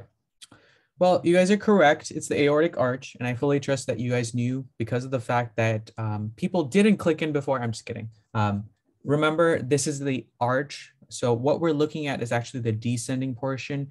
If you guys see the little loop-de-loop, -loop, right? You can divide it right here. This is like the little division. This is the ascending aorta. This is the descending aorta. Fun fact, this is a term for a problem, but I like to give you guys fun facts when I can. You can actually have an aortic dissection actually lead to a Beck's triad, right? Cool, huh? Yeah, anyway, but this is the aortic arch. So that's important that you guys know that. Cool. Awesome. I just want to emphasize this again. In terms of valves, you guys need to know that there's the pulmonary valve goes to the pulmonary system. You need to know that the right coronary um, artery and the left coronary artery are the branching points from the aortic vessel. So you guys got to remember 4% of the heart's ejection and the volume of blood that's going to the system is actually given to the heart. 4%. It's a tiny percent because the rest of the body needs so much of it, right? The kidneys, the guts, the brain, brain gets 15 okay? Like i'm telling you brain is like oh like way too much needy okay? It needs to relax a bit. Um what you need to remember is that these valves are important okay? The mitral valve right and the um, tricuspid valve are very important. That's the ones that are involved with what heart sound s1 s2 or s3 put it in the chat. Mitral and tricuspid S1. Awesome, awesome, awesome. I love the chat when it blows up like that. Exactly. S1, remember that the S1 heart sound comes based off of the fact that um, these valves are closing. Then the S2 heart sound is comes from the pulmonic um, and the aortic valve um, closing. So S1, S2. Okay, nicely done. Good job, guys. That's how you tell your systolic versus diastolic because right after the mitral and the tricuspid closes, you get your um, systolic, and then you get your diastolic followed by the closure of the pulmonic and the aortic valves, okay? Now, you're probably wondering how the heck am I gonna remember all these valves um, based off of just their common name versus their like fancy smancy name, okay? My little mnemonic is you have the right to try before you buy. So right to try. So right side of the heart is a tricuspid valve before you buy and the mitral valve is the bicuspid valve. Okay, little dumb way of remembering it, but it helps me a lot. And what you need to remember is that these chordae tendineae keeps the heart um, valves essentially functional when you're having either systole or diastole and the ventricular and the aortic filling okay? Whether it needs to be closed they're basically like parachutes. They don't all they they give you a point they give you a parameter by which it can stay open and then after that it will just snap shut right? That's the really important part. Got to know that one cold. And um, for my anatomy buffs what is the ligamentum arteriosum? Put it in the chat. What is that involved with Please tell me you guys covered embryo. Gonna make me cry if you guys have it. Exactly. Ductus arteriosus needs to know that one cold. Make sure you guys cover it. Hella important. And I'm going to go over embryology with you guys in a hot minute. But for now, let's talk about the branches of the aorta. Just kidding. We're going to talk about the palm, uh, about the heart vasculature. That's really important that's coming off of the aorta. Remember that um, the primary ones that you need to be dealing with is the right coronary and the left coronary. Those are the major two divisions. Everything else is superfluous, right? Because they come off of them. Next, you need to know your LCX, right? And the nice thing is the name tells you what's happening. The left circumflex artery goes on the left-hand side and it circumflex or loops around the heart. Then you need to know um, your LAD. Why do you guys need to know your LAD? Why do you guys need to know your LAD? Most Put in the commonly chat. implicated in myocardial infarction. Yes, that is the widowmaker. Okay. Whenever you guys hear LAD, I want you guys to echo in your brains widowmaker. Okay. That is the one, if it shuts down, it basically um, doesn't give blood supply to the septum and the left ventricle. Okay. So the division of the heart is messed up as well as the um, left ventricle is not functioning because it's a ischemic avascular event. Okay. Your heart is like, shoot, I can't eject blood. Bad, right? That is big problem. MI is a big problem. Okay. Need to know that one. That's the essential one. Everything else is just comes off of in terms of branching. Remember, there's a right heartedness and then there's a left heartedness. Don't need to worry about that too much. Just remember that the RCA arises from the aortic sinus, which is basically the aortic arch, um, and via the ascending aorta. So it goes to the right atrium, SA and AV nodes. That's why you need to know your RCA. Okay. Whenever they uh, talk about any sort of arrhythmias that could be messed up based off of vascular changes, it's because of the RCA. Now, if it's the AMA, um, which is the acute marginal, it's talking about the diaphragmatic border, right? It's the border of the heart. So it's not hella important, but just need to know that um, it goes into the right ventricle. Nothing too big. Um, most often, this isn't implicated in anything because it's a nice big chunky vessel that comes right off of the RCA. So it doesn't need to, um, it, it doesn't typically get occluded, whereas the LAD can easily get occluded. And I'll, I'll show you guys that. As always, LAD, right? Very important. Now the PDA, you're like, excuse me, why are we throwing PDA into this mix? Yeah, because it descends between the right and the left ventricle on the posterior surface of the heart. So if it's descending on the right and the left, if PDA gets messed up, it can also lead to an MI, right? And then finally, um, you need to know your LAD. I'm just going to emphasize that again and again. LAD was tested again and again on our exam. All right. Like I mentioned, LCA, LAD, territories where they go to, and the LCX. Most often, whenever they're asking you about anything, it's going to be the LAD, right? Because of the territory that it works with um, is very strict in its parameters, right? The left atrium and the ventricle, kind of really important for systemic circulation. If you have it occluded, nothing's going to really work too well. Okay. Need to know that one very cold. All righty, let's do this question and hopefully emphasize another really important point.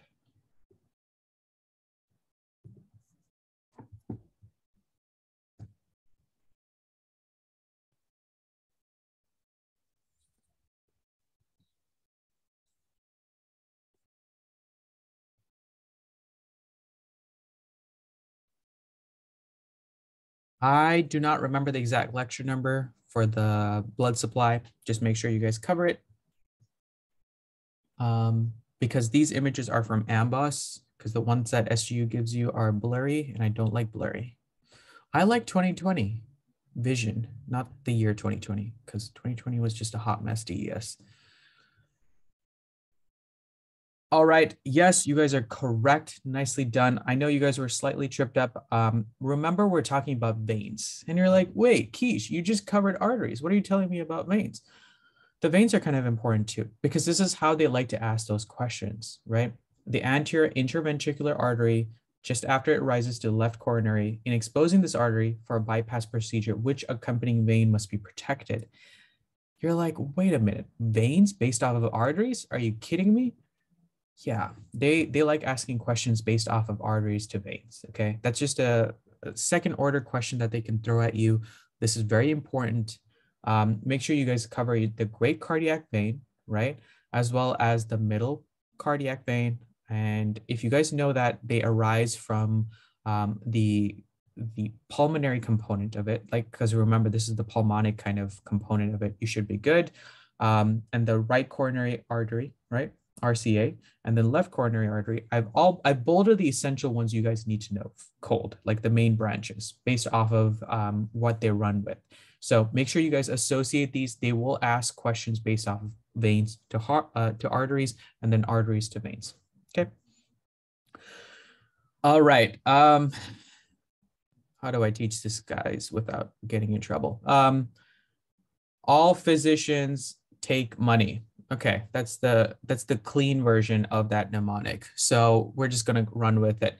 You're like, wait, what are you talking about? One is talking about all. So wherever you're hearing the first um, aortic valve kind of changes in terms of auscultating point, you're going to be doing the aortic valve auscultation at the second right.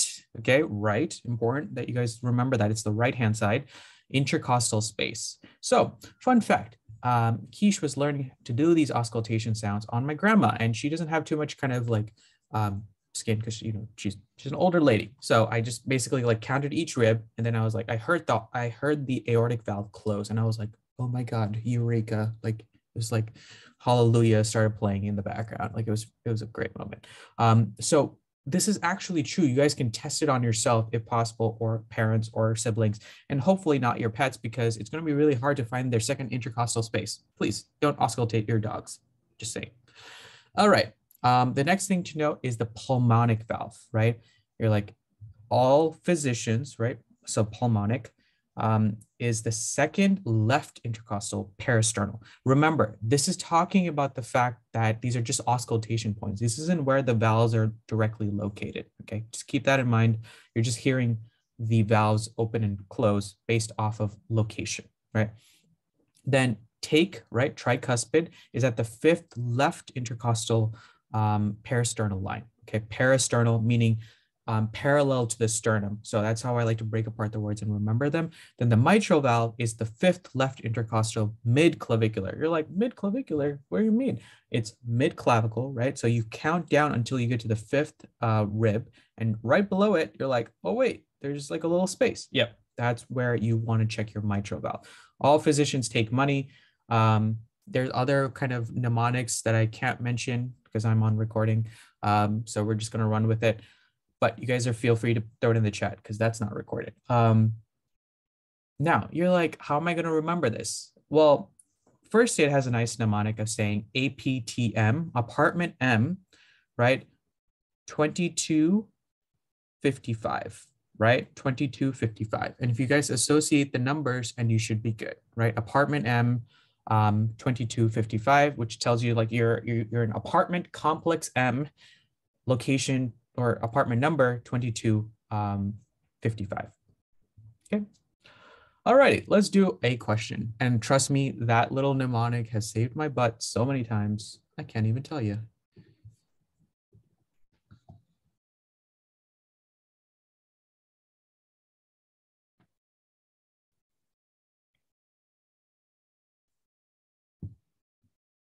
Also, happy a Halloween. I don't know if I mentioned this already. I didn't even realize this was Halloween weekend until like someone reminded me. Welcome to med school, guys. Me. You forget. yeah, it was Cait. There you go. See? I was like, wait a minute. It's Halloween. We were talking about how we were sad we couldn't go out for Halloween, and Kishore goes, "It's Halloween." I, if someone didn't remind me it was my birthday, I'd probably forget too. Because like I have no idea like holidays. And honestly, my weekends are like no lecture days. That's what they're considered. Yes, I'm complaining. I know. Um, the physician detects a systolic murmur, and you're like, wait, systolic? I don't know all these heart sounds. And what's what's he talking about? Well, it comes confirms a valvular stenosis, and what chamber the vessel receives blood that's being injected through the narrowing. And you're like, mm, this is pretty tricky. And what you essentially just needed to know is that everything comes from the aorta, right? If there's any sort of narrowing, right, it can likely be from the aorta, right? All of the vasculature that's going to the heart, aorta, right? Let's do this question.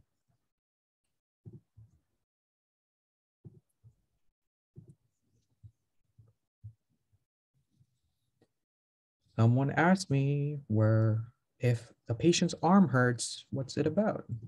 Now you guys get an answer for it.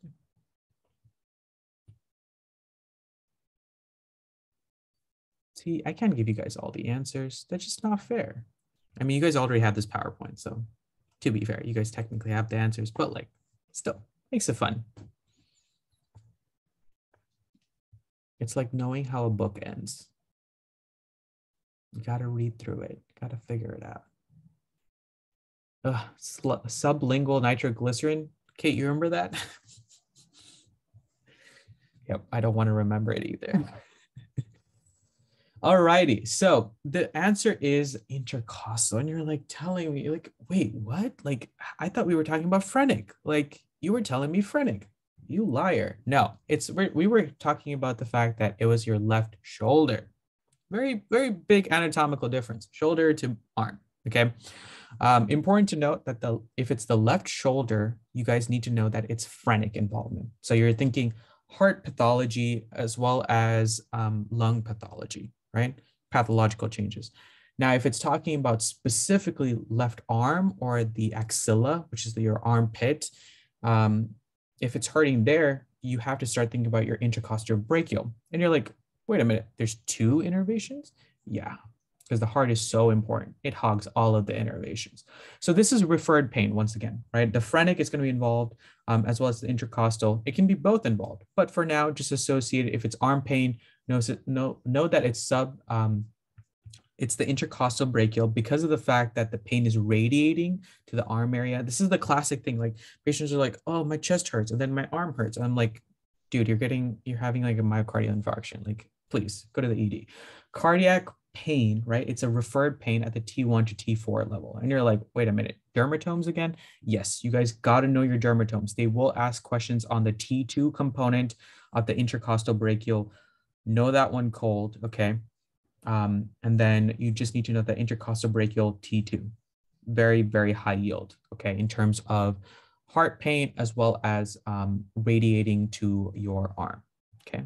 Very, very important. Remember, these are running based off of visceral sensory, right? That's why it's not somatic pain. Someone stabs you, you're like, ouch, it hurts at that location. That's because it's somatic pain. There's innervation that's very specific. Whereas your other pain fibers run through, um, well, for my NB folks, you guys will know all of the pain fibers associated with that and the tracks involved. It runs through the ALS pathway, right? Um, and that's why the pain is referred pain here rather than somatic pain. Okay, you guys know all of this for my term twos that are crashing this review. Okay. Let's take a kind of a look at the functional innervation. Remember that the innervation to the heart is run by both sympathetic and parasympathetic. Now, if I told you that the patient has um, bradycardia, right? What kind of uh, innervation is going to be involved in terms of autonomics? Is it going to be sympathetics or parasympathetics? Bradycardia. Put in the chat or shout it out. Parasympathetic. Perfect. Nicely said. Remember, associated based off of function. I'm, I'm a firm believer of not just memorizing random facts because it's never going to stick in your head two years down the road when you have to take a board exam. So learn it based off of the fact that the vagus nerve has primary innervation going to the atrium, right? Atrium, and you're like, wait, what part of the atrium? The SA and the AV nodes are primarily regulated by the parasympathetic, right? You can give drugs to patients that disrupt the vagus innervation, right, from the T1 to T4 level so that you can shut it down, right? You can, you can make their heart beat faster because you're changing the conduction velocity um, and the innervation going to this, okay? Whereas the sympathetic, you guys know, you guys, you guys pop some caffeine when you guys, you know, join this review. That's your sympathetic innervation, right? That's coming from um, your postganglionic kind of cardiopulmonary cardiac plexus fibers, right? They're going directly to the heart. And the heart actually has SAAV node innervation here as well. But um, and whenever they ask questions, they like to ask about sympathetics based off of ventricle, right? Whenever you think, whenever you take coffee, whenever you drink coffee, what really happens to your heart is that um, your cardiac contractions actually increase. Your cardiac output increases because your body's like stimulating sympathetic response, right? It's like your body's thinking, oh, shoot, I have a whole bunch of cyclic AMP. Like, what am I going to do with this? Well, I'm just going to make your heart beat real fast and give you heart palpitations. So that's what I'm feeling right now, which is cool. Um, remember that it, it also works by innervating the SA and AV nodes. It also messes with the ventricle cell muscles, and we're going to cover conduction velocity, inotropes, um, and all of those later on. Just giving you guys some brief kind of cardiac physiology introduction. All righty, the dreaded physiology. Now, I'm going to give you guys a quick break now because we've been going for about an hour now, and I and I don't want to exhaust you guys too much. So we're going to take a quick pause, and I'll I'll pause to answer questions as well. Let's resume this party. Okay, welcome back, guys. Hopefully, you enjoyed your break. Um, and I answered some questions in the meantime. Um, but don't worry, we're going to cover the rest of cardiac physiology with you guys together.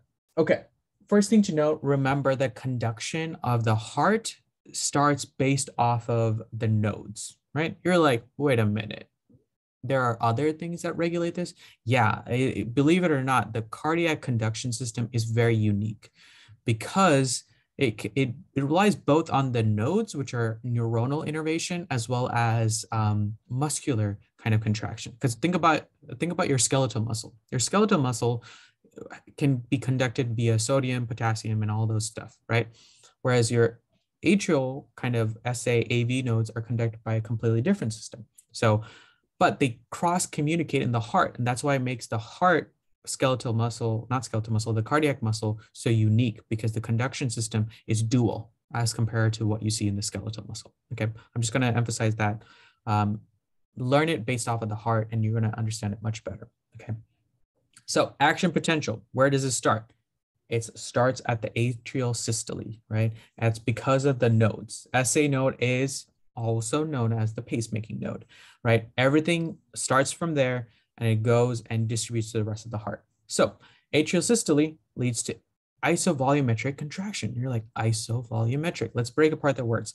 Iso, right? Same, volumetric, meaning volume, contraction. You're like, wait, why would we want to contract something that's the same volume? It's because we want to make sure that sufficient um, amount of blood that's going to the ventricle is equivalent to the amount that needs to be ejected, right? We don't want too much of it going. We don't want too less.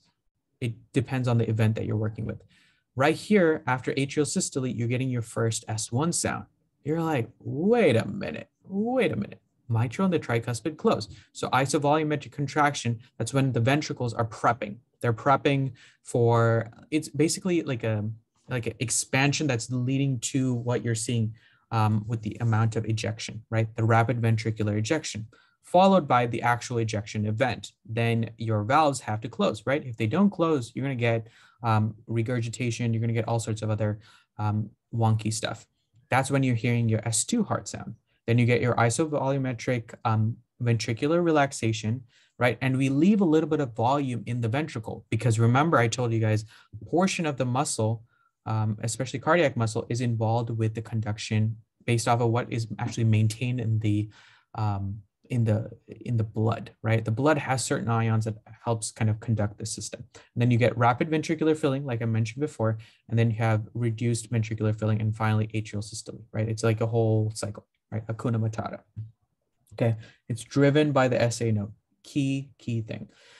Now you're like, oh boy, here it begins the Wiggers diagram. Remember, the pressure that's generated in the right ventricle is much less than the left ventricle. And you're like, well, that's cool and all. I'm not going to remember it during the exam. You will because of the fact that the left heart is systemic circulation. It has to generate a lot more pressure so you can eject blood and overcome all of the pressure that's at the aortic level. Because remember, your aorta isn't just hanging out like willy-nilly, just relaxed and like a chill dude after an exam. It's it's filled with blood and it has to overcome that pressure because it's basically all of the systemic pressure that's in the system. Okay. Whereas your pulmonary system, there's very low vascular resistance.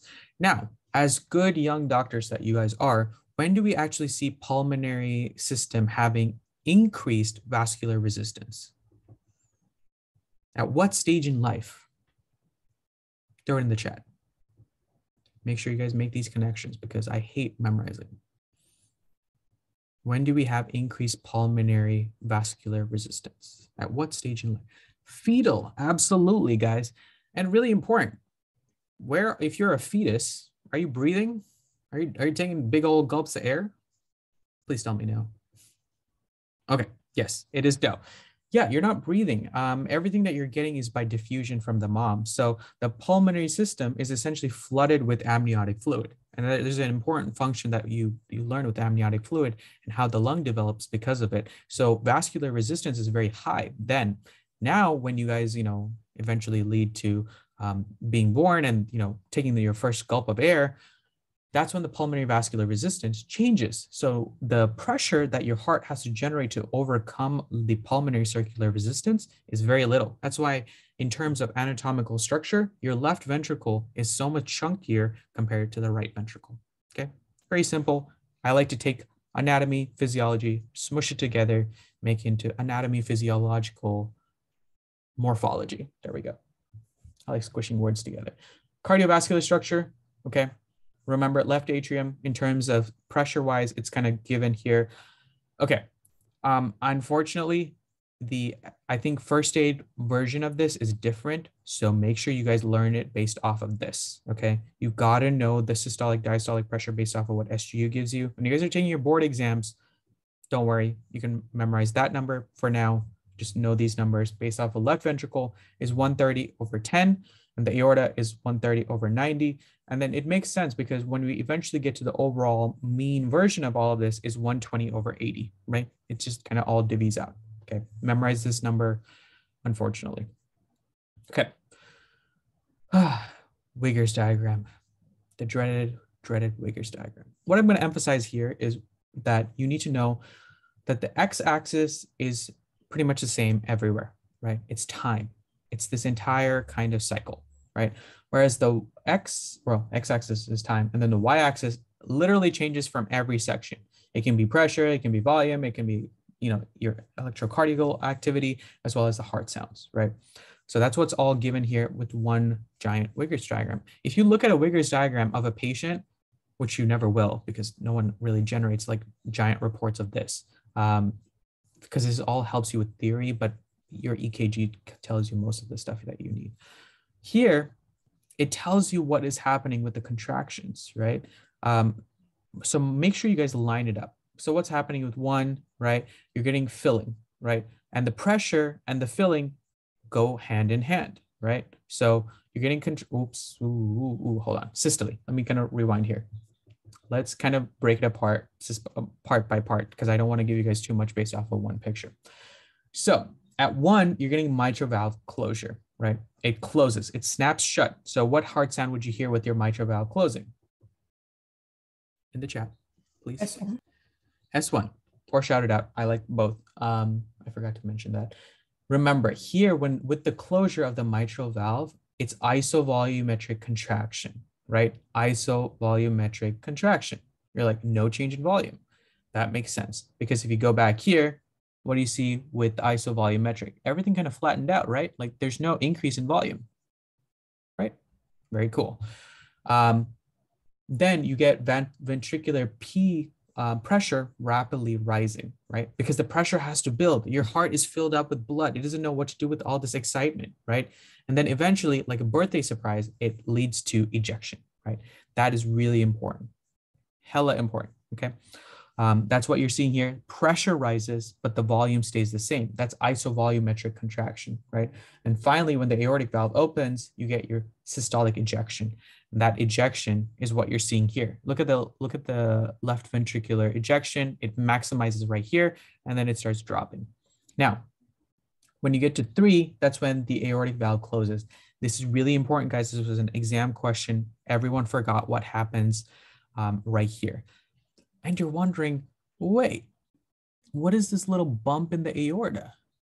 That's when the um, volume, right? When the aorta actually snaps shut, right? The valve closes. Um, it's called a dicrotic notch. I hate saying that word because it's like, I have no idea why everyone spends so much time emphasizing it. It's because the pressure rises right after that valve closes. And that pressure um, is very unique. That little beep going up, that's really very important. Okay. Then the mitral valve opens right, right here at the fourth point, and that allows for ventricular filling. Again, this is the second cycle um, beginning, right? This is all based off of pressure. This, they will ask you questions about, you need to know every single thing listed here. Giant heart symbol. This is cardiomegaly. You got to know it. Now let's look at volume. Volume is critical because this is the amount that gets ejected out, right? mitral valve closes, right? S1, right? Um, that is the S1 sound right here. And you get isovolumetric contraction, like mentioned. This is at the ventricle level, like the left ventricle. You see no changes in volume because you're just building up pressure, right? That's what we saw above. Pressure builds up. Just like how you guys are getting through this module. Pressure builds up, volume stays the same. All right. Um, what happens is this is where the end diastolic volume is identified, right? The heart is in diastole, right? It hasn't gone into full-blown systole, right? This is how you identify in terms of filling. Now, aortic valve opens, you get systolic ejection. There's two phases to this, guys. There's the rapid ejection, which is what you're seeing here. Whee, it's like a slippery slide, go down very quickly. And then the rest of it is reduced ejection. That's like the smaller percentage that gets um, pushed out, right? That's because you're trying to retain some of the volume um, within the ventricle. Remember, you don't eject out all of the blood that's in the heart, right, in the ventricle. Some of it has to stay back to in order to allow for um, cardiac conduction. Next, you get your aortic valve closing, right, which is at 0.3, right? Isovolumetric relaxation. That's the that's the re kind of polarization, and then this is where end diastolic um, and systolic volume is identified. Sorry, guys. Um, and then the mitral valve opens. That's the rapid filling, right? The cycle kind of continues. Remember, blood is coming in. That's why the um, volume is increasing right here. Okay, hella important. They will ask questions about this um, in terms of filling, pressure, etc., based off of each other. Okay, to my T2s and T4s who are here, um, we had to know this one cold. We were asked questions about this all the time. So know the P wave, know the QRS, know the T wave, know where the atrial contraction begins. Um, there's a fantastic video that I've linked out at the tail end that shows all of this um, in action and breaks it apart by Ninja Nerds video. So,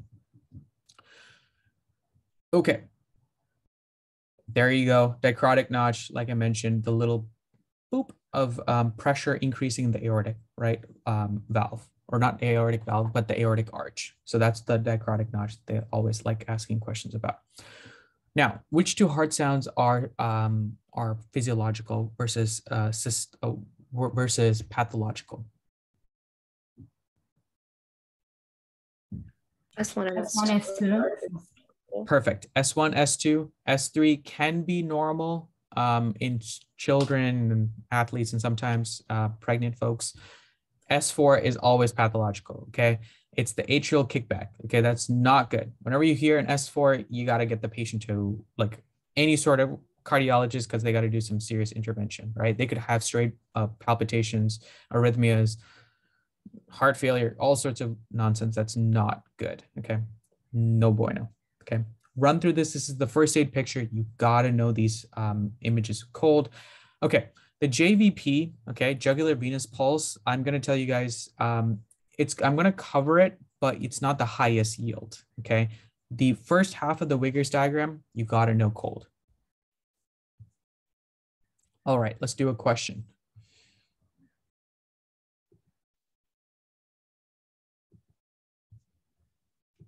If anyone picks E, I want to cry.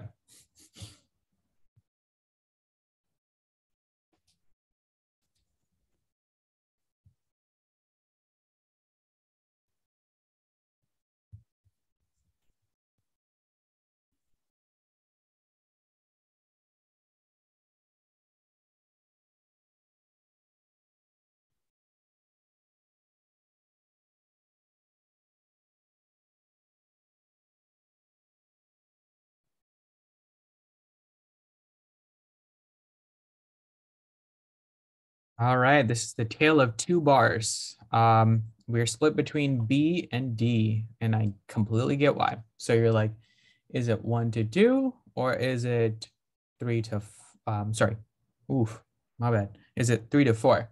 So this is a little bit challenging, um, but let's kind of take a look at it. The answer is actually D. Okay, so Catheterization happens in real time and the measurement of the pressure and volume within the left ventricle is seen um, using the reference below, which of the following is the pressure volume loop corresponding to stroke volume. So stroke volume is what guys? Is the amount of volume that's, is it staying or leaving? Leaving. Leaving, exactly. It's end diastolic volume minus end systolic volume. You guys see why this equation comes in handy, right? You got to know this one cold. So it's the opening of the aortic valve, right? Seen, which is at the third position, right? Rapid ejection into the aorta, and then the aortic valve closes, right? You guys see the pressure change, right? The pressure volume loop changes. So that's why it's D as compared to a lot of folks who were saying one to two, right? Important, important, important. You guys got to know pressure volume changes cold, okay? So let's take a look at it, right? Aortic valve opens right here, right? Aortic valve closes, right?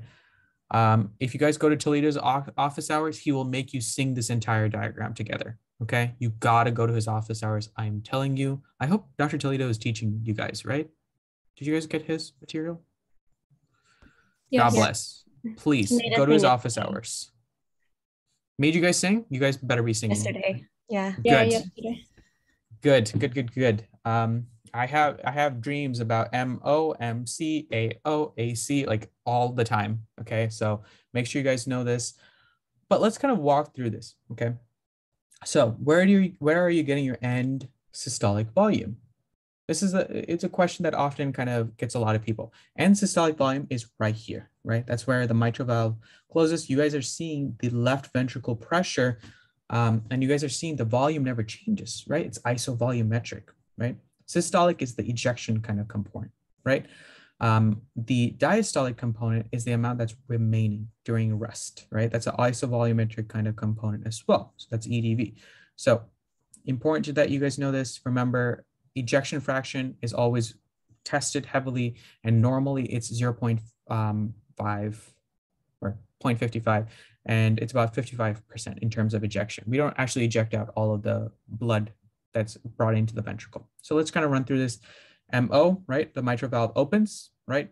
Ventricular filling, right? And filling happens, happens, happens. Mitral valve closes. Um, then it leads to isovolumetric contraction, right? Volumetric, right? That leads to pressure building, but volume stays the same. Then the aortic valve opens, right? As the volume peaks, then you get ejection, and then you get aortic valve closure. Okay, that's the ejection kind of component. So you got to know that one. And then you get isovolumetric relaxation. So where is all of this happening? In the right or the left ventricle? It's the left ventricle. Got to know that one cold. Know that the stroke volume is associated with this and how you can calculate it. They just straight up gave this and they asked us if the patient has stenosis versus regurgitation. So no, got to know this one. All right, question. Madeline. Yeah, I just have one more question. So I know that the stroke volume said end, end diastolic minus end systolic. So how come mm-hmm. that's bottom one again from like one to two? How you had put it? Could you mind just explaining that one more time? One to two. Oh, here, here, here, here. Um, the numbers were okay. That's because we were talking about ventricular ejection, right? That's what we were asking about here in terms of changes to the pressure volume corresponding to stroke volume. Um, stroke volume is going to be more so um, associated with, oh, shoot, this was mislabeled.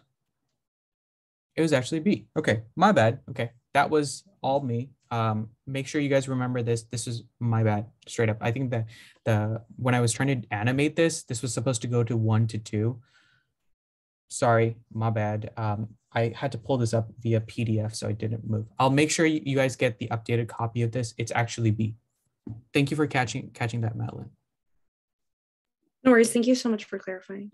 Yeah, no problem. No problem. Thank you guys for identifying that um, and checking me. Because remember, I'm mortal too. I make these mistakes. Um, yes, we were looking at um, in terms of volume changes, ESV, EDV. Okay, so that's going to be happening at this level, right? Let me just make sure I had this right. She undergoes cardiac catheterization, pressure volume changes. Okay, yeah. Yes, so it's one to two is what we'd be concerned about. Yeah. Let's look at turbulent versus laminar flow, okay? This one is really important. Um, quick question, guys. Patient comes in with atherosclerosis.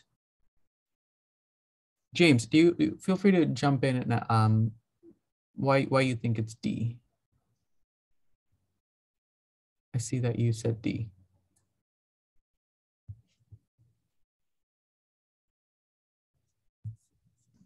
Um, because um, stroke volume, I thought stroke volume was um was in relation to um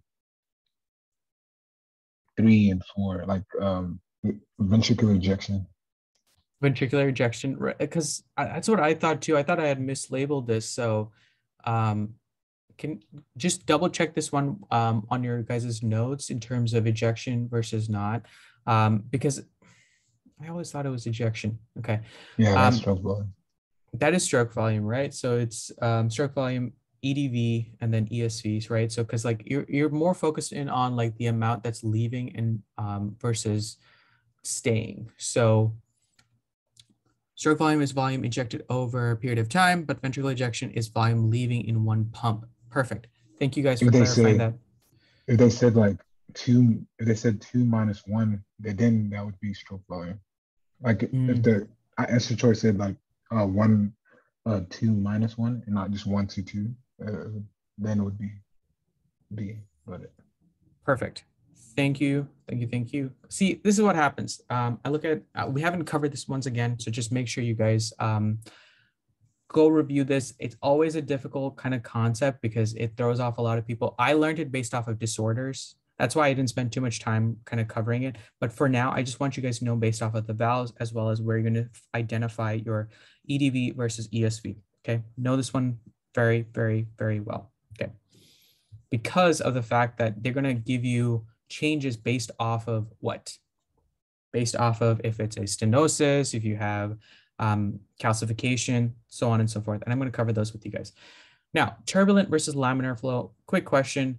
If you have atherosclerosis, what are you going to have? Um, turbulent flow or laminar flow? Turbulent. Turbulent. Turbulent. Perfect. Okay. It's turbulent flow. Um, remember, this can lead to you forming clots. It's going to lead you to getting thromboembolized. Not good. Not good. Bad, bad, bad.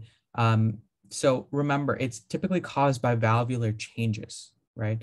So we're going to cover that just with based off of this. You don't need to know this Reynolds formula. Don't worry about it. Um, this is typically caused by like a vessel obstruction. Atherosclerosis is the most common kind of thing. It can lead to kind of like um, ejection murmurs, carotid bruits, and other stuff that you guys can measure in terms of your OSCEs. Okay, let's take a quick question in the meantime. Let's, in the meantime, I'll look at my notes on this just so I can get this straight.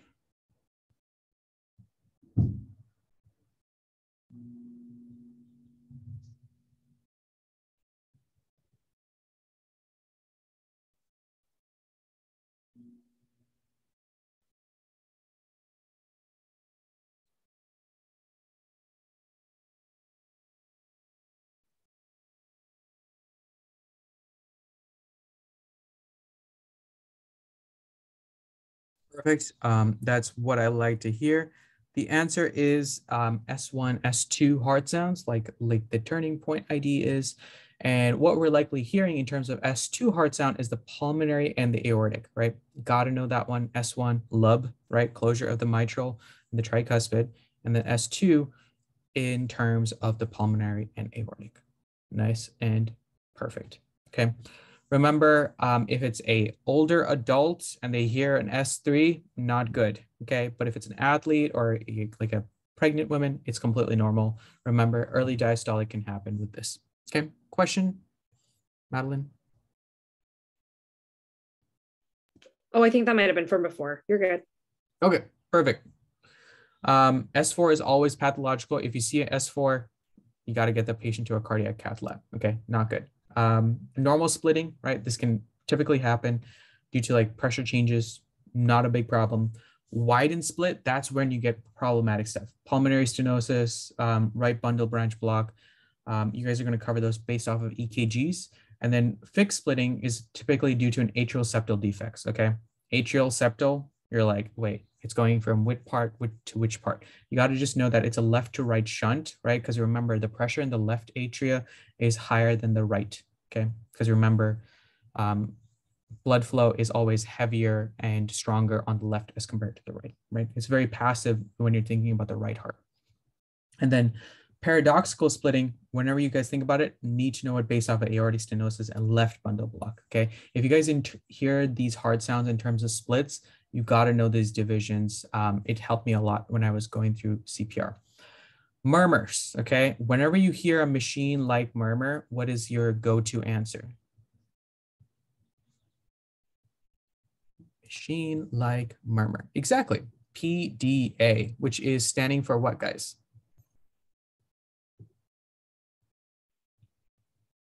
What does PDA stand for? That's exactly. Patent ductus arteriosus. Got to know that one cold. Whenever you hear, uh, whenever you hear a machine like murmur, it's PDA. Okay. Now, aortic stenosis, right? It's crescendo, decrescendo. You're going to hear this one all the time. It's age-related calcification. It can also be cancerous. This is dystrophic calcification of the aortic uh, valve. Mitral regurgitation can actually happen due to rheumatic fever. And we know rheumatic fever quite well in term four because it happens all the time. It's a holosystolic murmur, right? Holosystolic meaning it covers the entire kind of component. It's pansystolic in nature, loudest at the apex. Now you're probably wondering, oh shoot, how am I going to remember all of this mitral regurgitation, prolapse, all of these components? What you need to remember simply is that it's based off of APTM, right? All physicians take money or like apartment M or whatever you use, it can basically tell you what type of um, aortic or pulmonic or mitral or tricuspid level pathology you're working with, right? That's how I made the jumps during the question stems in um, CPR. I didn't I didn't spend too much time learning every single component of this because you're going to cover it again when you guys go through the second half of your time here at SGU, right? Tricuspid regurgitation, less commonly seen. Um, and typically it can also happen due to rheumatic fever, but like it's mostly right ventricular dilation. And that tends to not happen too often. Ventral septal, okay, this is bad. If you hear a holosystolic harsh sounding murmur at the tricuspid area, that's not good. They have a VSD and VSDs are not a good look. Okay. Diastolic murmurs, not too bad. These are aortic regurgitations and mitral stenosis. You're probably wondering, how am I going to remember this? Um, I'm just going to say Mr. Ass um, sorry, Mr. Ass and then um, Mrs. Art. If you remember that, and you guys are going to be set for remembering all of this. Okay, now let's kind of break it apart. MR, which is mitral regurg, and um, aortic stenosis go together, right? So that's a systolic murmur, whereas Miss, which is mitral stenosis and aortic regurgitation, is diastolic. So that's how I got through the entire systolic versus diastolic murmurs by that just very simple mnemonic. Okay. Machine like is the easiest one. PDA, congenital rubella, prematurity. It's even associated with like maternal diabetes and other stuff. So we're going to cover that in a bit. Like I mentioned, all of it's kind of covered here. Um, and you guys will identify this based off of the murmurs as well as, um, you know, how it's going to sound. Embryology, my favorite. Okay, the heart is kind of a hot mess, right? It twists, it turns, it creates all these like little openings. But remember, um, portions of it have to develop in a unique way, right? The patent foramen ovale is the most common type of defect, right? It's caused by a failure essentially of the septum primum and the septum secundum to fuse, right, during birth. Um, most often it's like not even identified. It's just going to lead you to the fact that, um, you know, they're typically asymptomatic in nature. But for us T2s and T4s, we've seen paradoxical embolies. Whenever you get an embolus, which is basically like a clot formation within your um, within your blood vessels due to like you sitting down for too long or like not exercising enough, it can lead to multiple little um, embolies, which are just coagulated blood, getting into the circulation, and it can lead to essentially systemic um, issues, right? You can also get like shunt changes. We're going to cover that in terms of ASDs and VSDs. But for now, just know that the most common one is the patent foramen ovale. Okay. Um, it's really hard to understand the primum and the secundum. There's a really nice osmosis video out there on YouTube, as well as like you can watch the Ninja Nerd video um, on this. And first aid has a nice way of covering all of this. You don't need to memorize every single detail. You just need to know ASDs and VSDs very well. Okay, this one scares everyone in terms of the aortic arch derivatives. Um, you guys don't need to know all of it. What you do need to know is certain components of it.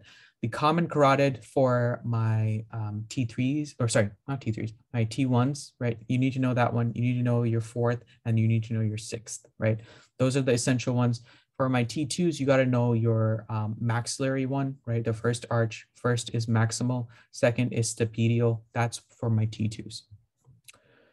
Branches given to you in a nice table format, I would memorize these, okay? We got quite a handful of questions on this, very important. Carotid arteries, subclavian arteries, and all of these um, aren't too crazy, um, but I will tell you certain ones are pathological in nature. So whenever you guys get sort of fetal kind of circulation further down, you're going to see all of this. Like I mentioned, certain um, shunting or circulatory changes are normal, right? Most of the time, your you, your any sort of like hole in our body is not good, right? Like any sort of shunting from one location to the other is not good. For the fetus, you got to have your PDA and you got to have your patent foramen ovale because remember, the baby isn't breathing, right? You want all of the blood in our body to go into systemic circulation based off of the, the fact that you get simple diffusion from the mother, right? The lungs aren't functional. So the PDA is uh, common, the foramen ovale is common. So these are the ones you got got to keep in mind for neonatal circulation. Okay, ligamentum arteriosum, right? Um, need to know your ligamentum venosum, and then you need well, I mean, you guys when you guys cover um, term two stuff for the ligamentum teres hepatis, right? Because this is circulation that's coming from the mother so that you can get it into systemic, okay? Here it is in terms of shunting, ductus arteriosus, foramen ovale, and of course the ductus venosus, right? The nice thing is they all have ductus in them except for the foramen ovale, but you guys can remember foramen ovale very well, okay? Cardiovascular changes, here's the thing, okay? important to know that when you take your first breath of air into this world right? When you're when you're popped out of your mom and they get that beautiful picture of you screaming your lungs out that's really important. Doctors are checking your apgar scores which is a score that you use to analyze if the baby is born normally or not which is something my t2s will cover later on. It's really important because that baby has to take the first first breath of air in and it changes a lot of pathological or sorry physiological changes to the baby's heart okay? One the flow of the blood is going to change right? When the pulmonic vasculature dilates it's going to lead to a giant change in the shunting right? Your suddenly your right side of your heart can fully function now. The next thing is when you cut the umbilical cord you start you, you, you stop releasing prostaglandins and prostaglandins are going to keep your patent ductus arteriosus um, open and when you stop releasing them it can close them. Sometimes it stays open and that can lead to the machine like murmur that you guys saw. So all of these physiological prostaglandins like you guys are seeing here all of these are changing right? And when you get the pressure change the valve also shuts close right? The foramen ovale right? The primum secundum and the um, septum or sorry, septum primum and the um, sectum secundum. Okay, keep that in mind. And then finally, you know, everything moves from from the right to the left. Okay, and that in terms of systemic flow. All right, I don't know why this chicken is dancing. Apparently, you know, your heart kind of twists and turns, but you got to know each of these based off of what they create. The truncus arteriosus, the bulbus cordis, the ventricles, all of this you got to know. You got to know what they create whether it creates the atria, it creates the ventricle. They will ask questions about embryo much more heavily in this module than previous modules. Here it is in terms of what they create, right? Um, and you guys can run through this, but this is a pure memorization game. Um, and that's why you get a lot of questions with this because it's hard to kind of put it all together because the heart essentially twists around in order to create the different valves and the different um, atriums and the ventricle. The atrium um, is often just often uh, poorly understood because we spend so much time thinking about like the ventricle, but they will ask questions about this. We got a handful of questions about atrial septal defects based off of um, heart embryology. Okay. All right, you're like congenital defects. Okay, let's start off with the basic one. The primum type ASD, atrial septal defect, and membranous type VSD is associated with Down syndrome. This is a high yield, guys. It is very, very high yield. Down syndrome is associated with a lot of pathological changes. But for now, I want you guys to know the primum type, right, um, is associated with Down syndrome. I literally, I, I looked at these slides literally before I went into the exam because they had questions about this. And I, I was told by upper termers that this was high yield. It came back every time, okay? Now, tetralogy of Fallot is also seen and PDA can also be seen with Down syndrome.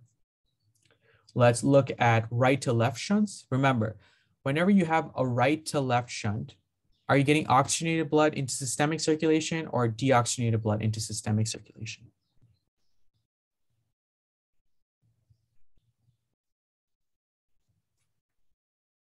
Oxygenated or deoxygenated? It's deoxygenated. Perfect. Okay. Deoxygenated because remember, these are blue babies, right? The baby be blue. Okay. They're looking, they're looking like Loki when he was born, right? That's important. High yield. Okay. Blue babies, right? That's a buzzword and that's associated with cyanosis, right? Right to left, early cyanosis. High yield. It's associated with truncus arteriosus, right? Um, transposition of the great vessels, tricuspid atresia, and total anomalous pulmonary venous return. That's very, very high yield. All right.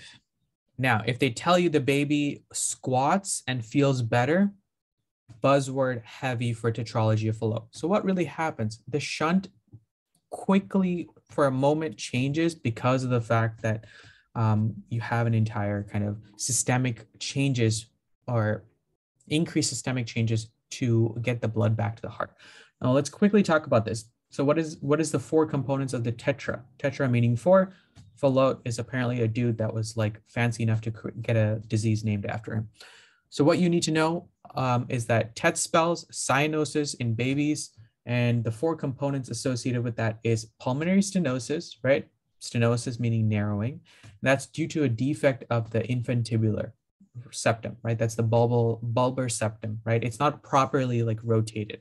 Um, remember, these essentially spiral in order to create the two different valves because um, remember the aortic and the pulmonary artery both originate from one giant vessel, right? Whenever you're thinking about your heart, everything was symmetrical in your body at one point, but when the aorta and the pulmonary have to be created, guess what? Stupid neural crest cells they didn't want to migrate. Okay. They were just feeling like chilling out. Okay. So they didn't properly spiral and leads to one of the tetralogy of Fallot presentation of the aortic and the pulmonary artery being separated. Now, the VSD is due to the ventral uh, ventricular hypertrophy because now so much of your systemic pressures are getting switched to the right hand side because you have a VSD, right? That's really important. Plus, the narrowing of the vessel makes it harder for blood to be ejected. So the heart muscle basically um, hypertrophies, hypertrophy meaning increase in size, right? Not in number. Because remember, cardiac cells, cardiac myocytes are permanent cells. They can't change, they can only remodel. And then overriding aorta, remember, this is basically caused by when the um, interventricular septum is not divided properly and it basically is shared between um, the right and the left ventricle. All right, persistent truncus arteriosus. I swear to you guys, this is the most annoying because your neural crest cells were just minding their own business, but they failed to migrate. Okay. They should have migrated, but they didn't create a septum. And I told you guys, remember the aorta and the pulmonary valve are not valve, but the aortic and pulmonary vessel are both originating from the same point. And the neural crest cells that are um, situated here are supposed to spiral right? When they spiral out of control, they help create the division between the aorta and the pulmonary um, vessel. When it's not there, then essentially you're going to present with mild cyanosis, and it's commonly seen in DiGeorge. And that's due to thymic involvement. And you guys are going to cover DiGeorge even more. And remember, it's 22q11, right? It's a microdeletion at the 11th position. Let's do a question about this one.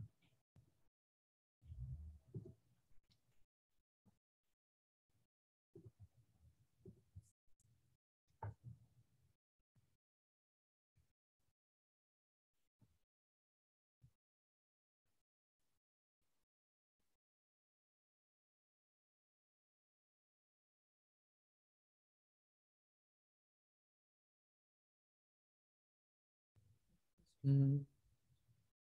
What do you guys think this is? Let us see.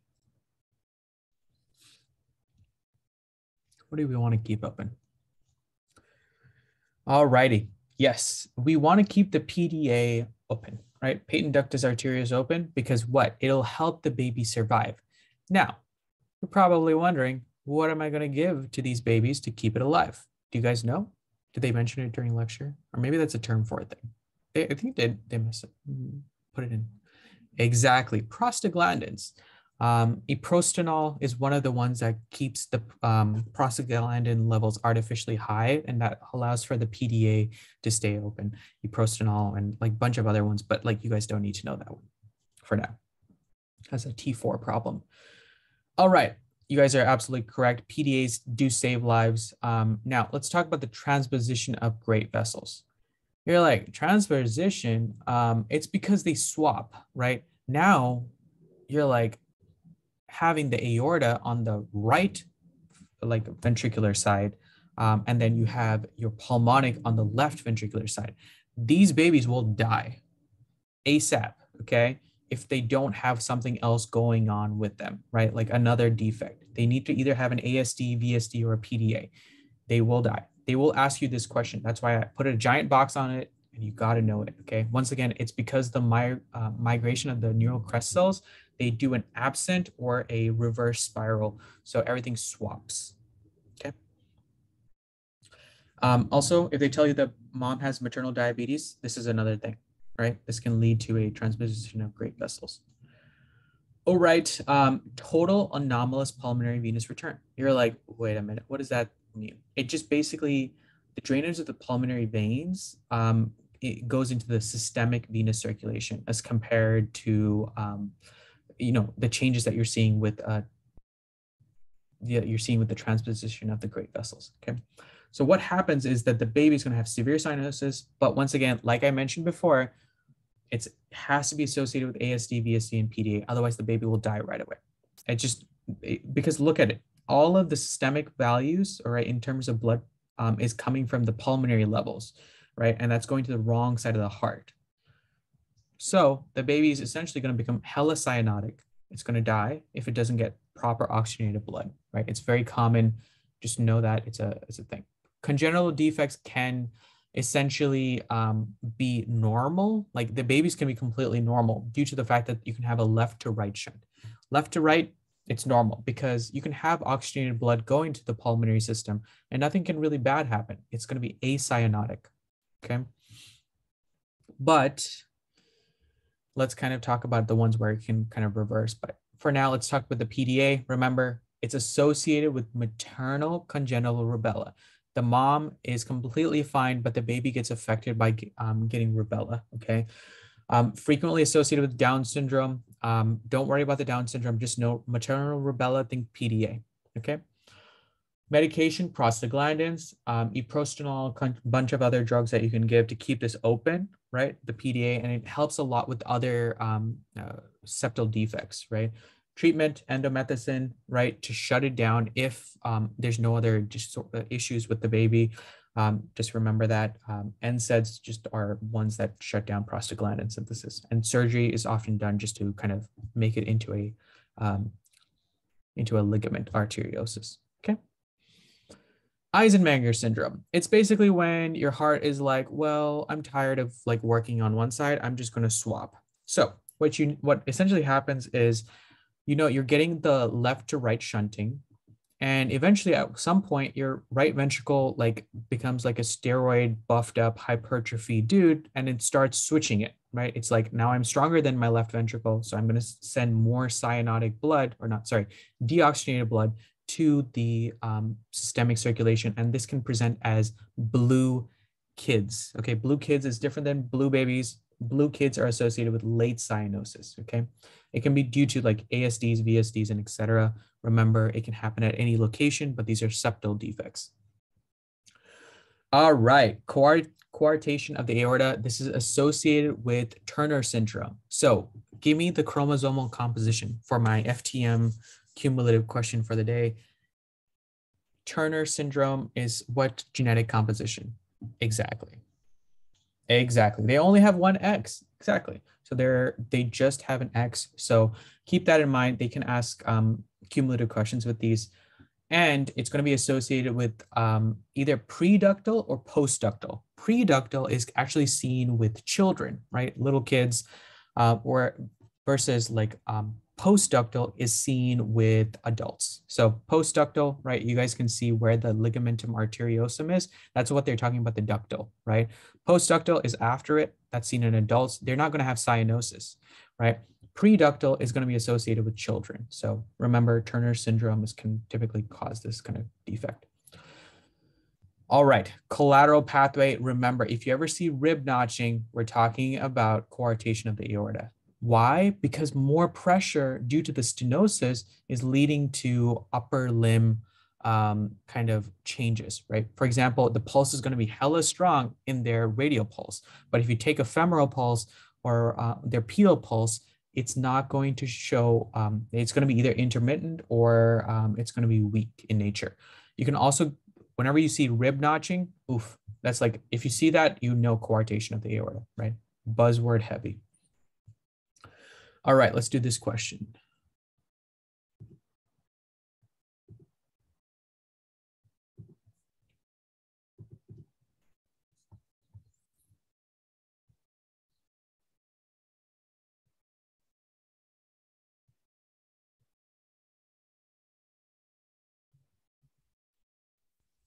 It has a very good point. Got to know the collateral blood supply um, whenever wherever you see it. It's like high yield. They love that.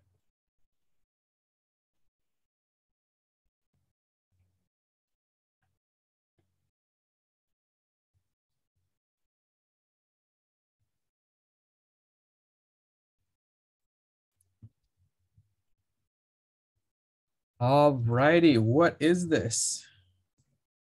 Okay, we were a little split. I understand. Okay. Um, its auscultation reveals a murmur, transthoracic, right? Transthoracic echocardiogram reveals a heart defect, the atrial septal primum type. Okay, so we're talking about an atrial defect. It's a septum defect, and it's the primum type. Embryological failure, which of the following most likely caused this? This is very, very buzzword heavy. Um, whenever you think of primum, you have to think of the primum fusing with endocardial cushion. Okay, that's just associated with that. Um, D is associated with the septum secundum. The primum has to fuse with the secundum. It's like a flap, okay? Now that's a one-way valve. Like that, your, your heart is essentially created like a fake valve to keep the baby um, from having to get too much effort put in by the right side of the heart because most of it needs to go into systemic circulation and that one-way valve shuts it down so that only blood can go in one direction, which is systemic circulation, due to the fact that the baby has only diffused oxygen coming in from the other kind of um, defects. Okay. Septum primum, endocardial cushion, foramen, prim, uh, foramen primum, atrial communication between SP and EC, right? Which is all outlined here. This is quite difficult to understand. I, I, I completely get that. All you need to know is that the buzzwords associated with each of them is outlined here. Um, and if you have those memorized, it's just straight up a quick and easy two or three points on the exam. Okay. Most of the time, VSDs tend to be more problematic. Often with these, right, the primum and the secundum, they are a um, asymptomatic. So you might you, you might go through your entire life, and one day when you you know keel over and pass out, they might find that you have a you have an ASD, right? Because they're so asymptomatic, they don't typically shunt reversal and do all of those things. VSDs tend to be more problematic in nature. All right, I was kind enough to find a whole bunch of random resources that I used back in the day and compile it for um, you guys here, which covers both the mediastinum anatomy, cardiovascular components, as well as any of the cardiac physiology. These are all playlists. Um, I really need to make sure I tell you guys that these are linked out. So you just have to hover over them and they're going to give you like a little YouTube link going directly to the videos that I used back in the day. I really found CK Med covered a lot of the high yield SGU details as well. So feel free to take a look at that. Um, physiology, if you guys are struggling, make sure you guys watch my boy Ninja Nerd. Hella helpful. Okay. The videos are long, and so I put them off. I was like, I'm not going to spend an hour and a half watching this. And then I finally watched it, and you guys but put in that hour and a half. You will not regret it. It will help you so much. Don't don't be shy because they're long videos. They are but if you put them on like one and a half speed it's so worth it. So don't be intimidated by the length of those videos. Facts. Seriously guys um it i'm just going to echo this by saying like it covers like like three or four of your cardiac physiology lectures so that one hour that you're burning you're covering four lectures equivalent at SGU's level. So just saying it, it's worth the effort that you're throwing into it. Okay. Alrighty, I'm gonna pause the recording. Any questions, feel free to holler at me. I'll stay a couple more minutes um, and we will call it time of death.